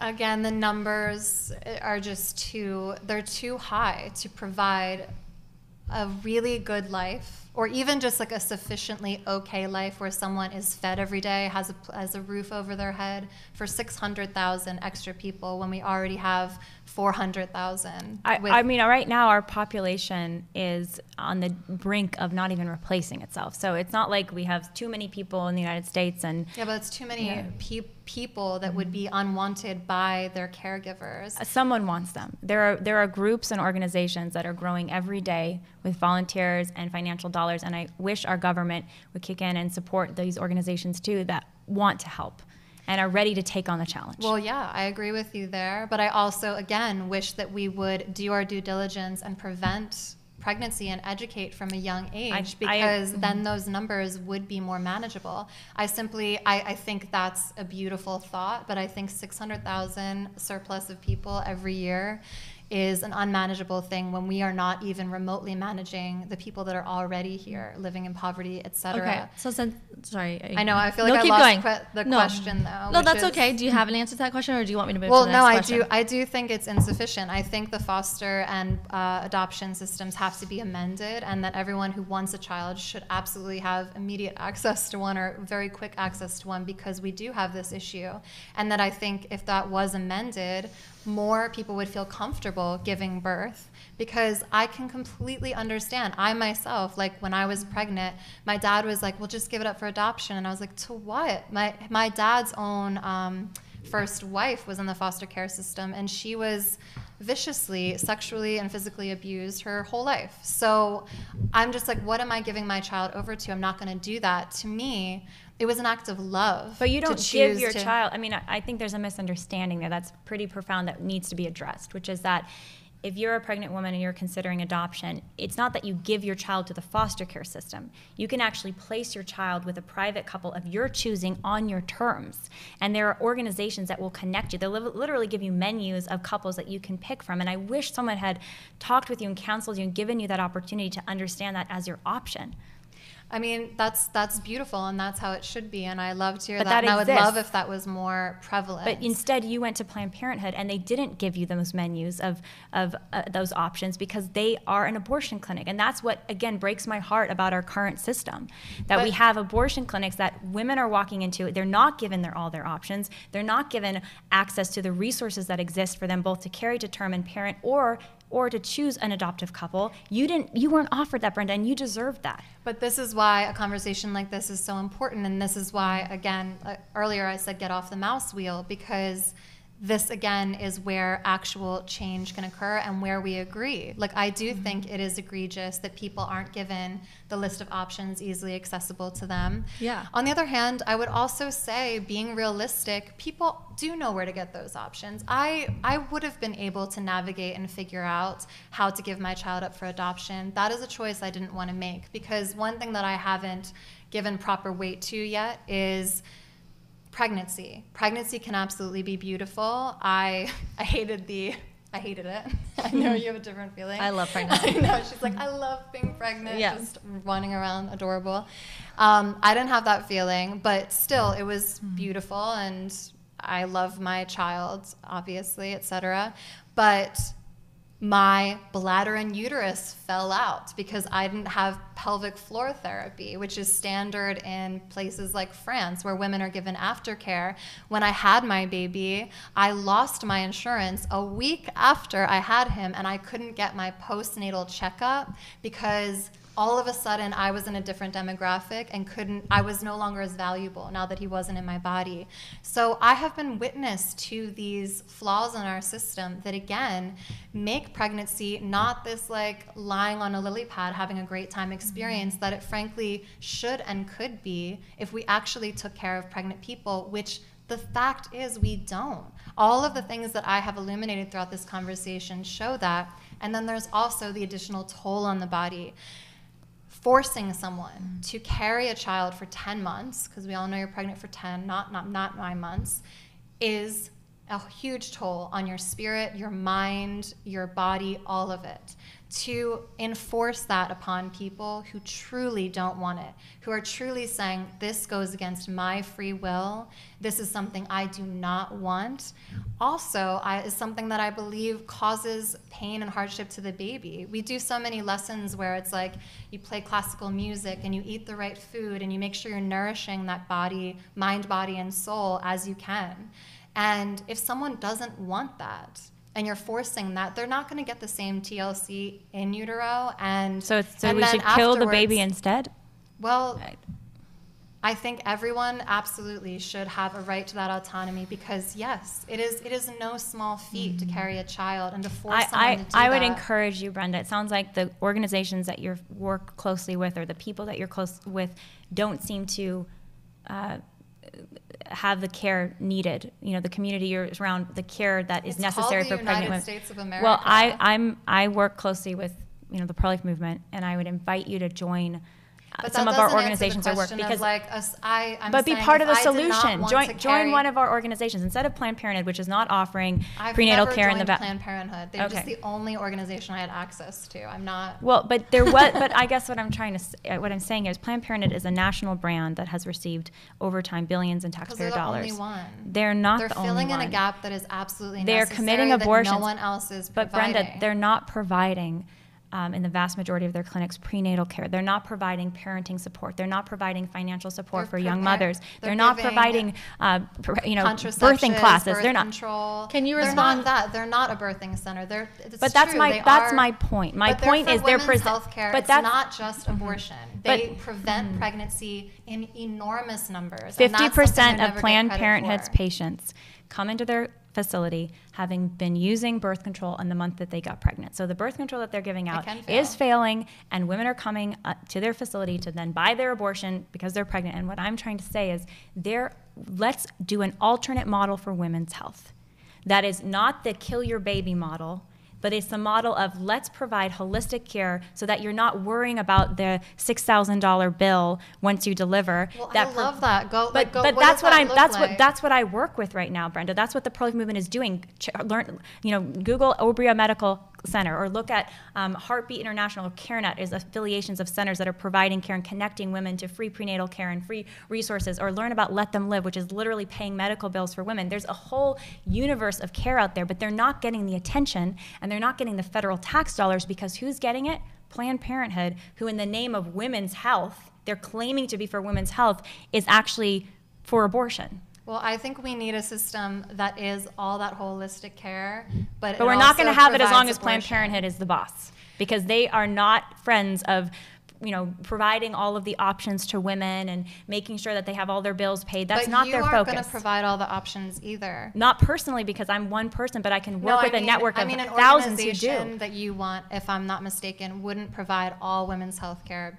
No, they do. abortion. Obria. Okay. Because so I- abortion's not healthy. The difference, I think, is the whether the government should be doing this or whether we should be making small organizations, nonprofits, and doing it I think as it can be. I think there can be a. or it both. can be a. Okay. It can involve Yes. both. So I have like five more questions to quickly get to. Short answers, guys. Okay. So can you address what she was talking about? Women who truly find it traumatic to go through pregnancy, don't want to go through pregnancy, and even this is a very specific question I was even going to ask about women who are really suffering mentally mm-hmm. And would struggle immensely to go through. Yeah. pregnancy, like someone with Wait. depression who's on medication that could affect the baby's development. Do you have sympathy for women who feel like they just mentally cannot handle it? What's your thoughts? They need better mental health care. We need better mental health care, and they need to be connected to mental health resources that, resources that do exist. Killing the child is not going to give you better mental health. It actually will deteriorate your mental health. And studies that have been done have proved that in the year after a woman has an abortion versus if she had chosen to have give birth and let that baby live, she's 150% more likely to commit suicide. So if you want to talk about m- women's mental health, abortion is only going to deteriorate her health. Thoughts? And then I'm going to go to the next question to you. I mean, I absolutely agree. Mental health care is an egregious. like, Abortion is not mental health care. it deteriorates mental health as well as kills a child. I yeah, I don't think abortion should be a solve for any mental health issue. Uh, but again, because that infrastructure doesn't exist and we are not providing that on a nationwide scale, I think it is too pie in the sky to put into action before it actually exists. Because if we're forcing birth as early as June or July, if Roe v. Wade is overturned, which it probably will be, we don't have any infrastructure in place for anything that I described in this conversation to support that influx of children, to support the people who are suffering through mental okay, health. so do women need to rely on abortion to succeed in society? And if they do, is that a good thing? Oh, good thing. Um, again, because I am a single working mother, I am struggling financially because there's no childcare for my son until he's five, or there's no school until he's five that's mm-hmm. provided. So, absolutely, it holds me back in my career, and it, I could get much more accomplished. He would also benefit so much from the socialization and the ability to be around other kids that's something that i cannot financially provide for him right now because again there's no structure in place to help me with that. So that's just my experience and i know i am a very very privileged person and that's a privileged experience still because there are many women who are literally working multiple jobs for a minimum wage that doesn't amount to anything to support their existing children. And they are not able to pull them You can't pull your bootstraps out of that situation there's not enough there to support Quick answer on the thoughts on the question I just asked her about like, do women need to re- um, rely on abortion? And then I have another question for Yeah. you. I think that we need to double down on the existing support systems, shore them up, improve them. A lot of that's what the day in day at work, besides educational work and lobbying work, which is what Live Action does and other groups. There are But your thousands. lobbying work is like just just for the prevention of abortion not to lobby to have all of these things that you believe in in place like Well, we're for child tax credits for families. And I'm to- asking curious As like, an I don't as an example, as far as other public policy options, paid family leave, child Great. tax credits for. so you're for lobbying children. for these things Yes, we've Hell publicly. yeah. yeah. that's what There's- i'm talking Great. about Something we found common ground on. Oh my But- gosh, but, I'm but so I happy. but I think there, you know, what's heartbreaking because i to don't me. see that a lot in that party What's hard? Well, I don't. I, I mean, you're talking about parties. It's uh, there's a lot of progressives and Democrats who are pro-life, so I, I think it's you can find them in both parties. But Yeah. um, I think it, what is heartbreaking to me is that we have women who are not c- being connected right now to the resources that do exist in communities, and one of the primary reasons for that is because of Planned Parenthood, because they are staking ground as the place to go and saying we are there for you. And they're getting the taxpayer dollars for it and they're getting the marketing dollars for it and they're getting the you know celebrity support for it and they're even getting corporate support for it and they're actually not providing options for women. They're getting all of that privilege and support to what? Then go saying we're, here's a, here's an abortion for you instead of here's the prenatal care here's, so that's what Yeah. i would advocate is for shut that whole lethal business down and replace all that societal cachet, all that financial support, and put them into the organizations that are actually solving problems for women and providing care for their for their children. Is that something you could get on board with, possibly? Well, somewhat. I just I think money should be re- reallocated in so many ways. We mm-hmm. spend But Planned Parenthood doesn't hor- want pro-life centers to get. In fact, there are pro-abortion activists right now that are literally throwing Molotov cocktails into pregnancy resource centers. And Planned Parenthood well, is not speaking out against on that. the reverse forever too. I mean, there, there's egregious behavior on both sides. But I'm not seeing it decried by Planned Parenthood right now. I mean, they're kind of the, the lead, and I'm not surprised because they're for abortion. I can totally So- understand your rub with Planned Parenthood. My issue is that, again, an organization like that sprouted out of a need that wasn't being met, and the need it was sprouted from a myriad of other needs that lead to that. Okay. So I, yeah. Okay, next question. Sorry. What about overpopulation, Lila, is having more people around bad for the planet? Uh, well, first of all, overpopulation can, ne- if it exists, can never be solved by killing part of the population. So, you know, abortion's never the answer. You don't kill off your youngest members, most vulnerable members to solve population issues. But we're actually facing a population crisis, underpopulation right now in much of the Western world. So in most of Europe, they're not replacing their own populations. Their populations are shrinking, and the uh, population demographic is increasingly elderly and less young, and so that imbalance is creating huge economic and social problems. Uh, there aren't enough people to care for an aging population, as an example, and that's happening in the United States as well. And part of it is because of the fearful rhetoric around birth, motherhood, and children, where we are saying it's so hard, it's so bad, it's so negative, you should have the abortion or we're saying you can't have a career without having an abortion, or all of that negativity around life is a huge driver of the population crisis. And you know, the solution to that, again, I can go back to what I was saying before, it's education, it's connecting people to the resources that they need. It's a mindset shift about we're here to support each other and a child is not a threat, it's not an enemy, it's, it's part of the family now. We're gonna fight for each other, have a fighting spirit about it.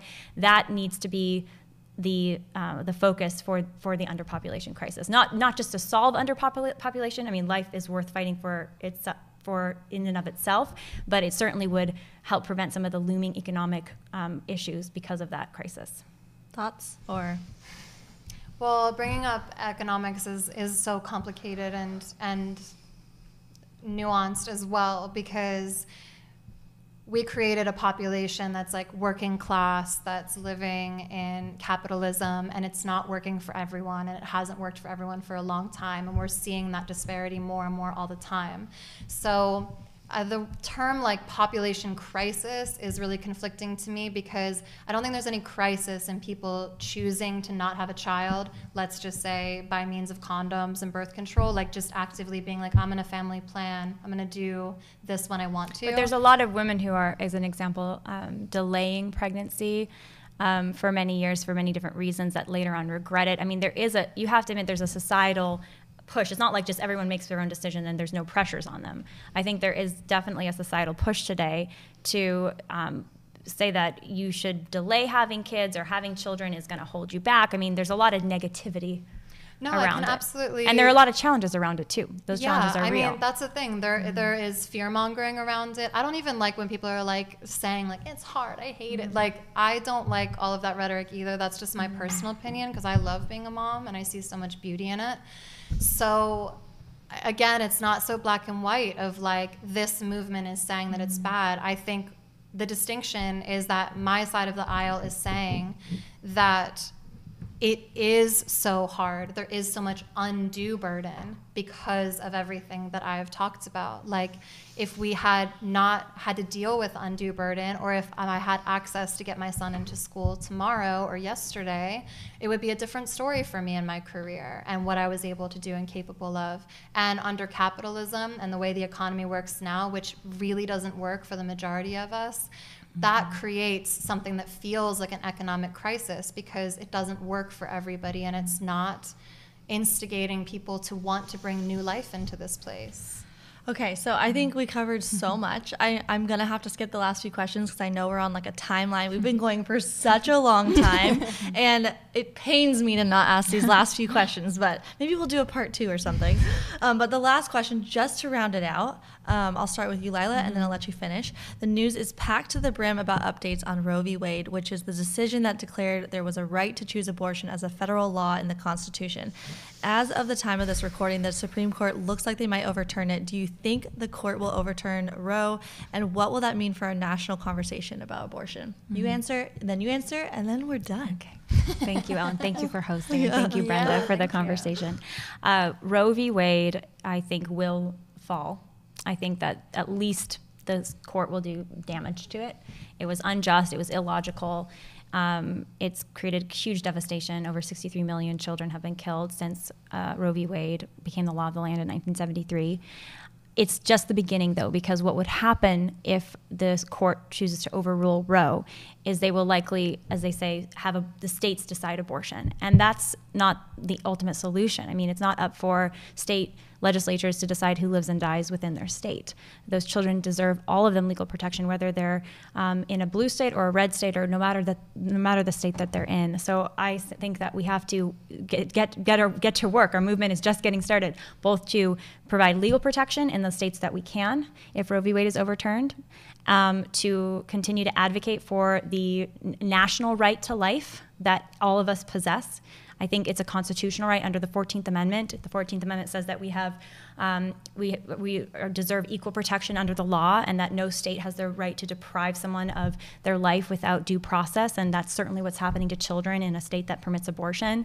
So we should continue to argue for that constitutional right to life that all states should abide by. And then we got to work day in and day out. Abolish abortion where we can, provide the support and the care for women, expand these organizations I've been talking about, get them um, to continue to grow and continue to educate. Educate people about the abortion procedure and about human development, about the options that exist. Okay, Brenda, you. I also think it'll fall, and I am devastated. And I like cried my eyes out when I really realized the gravity of that and what it would mean for me and for so many. I just love people, and I care deeply about this issue and about who it's going to affect negatively, which is going to be a lot of people.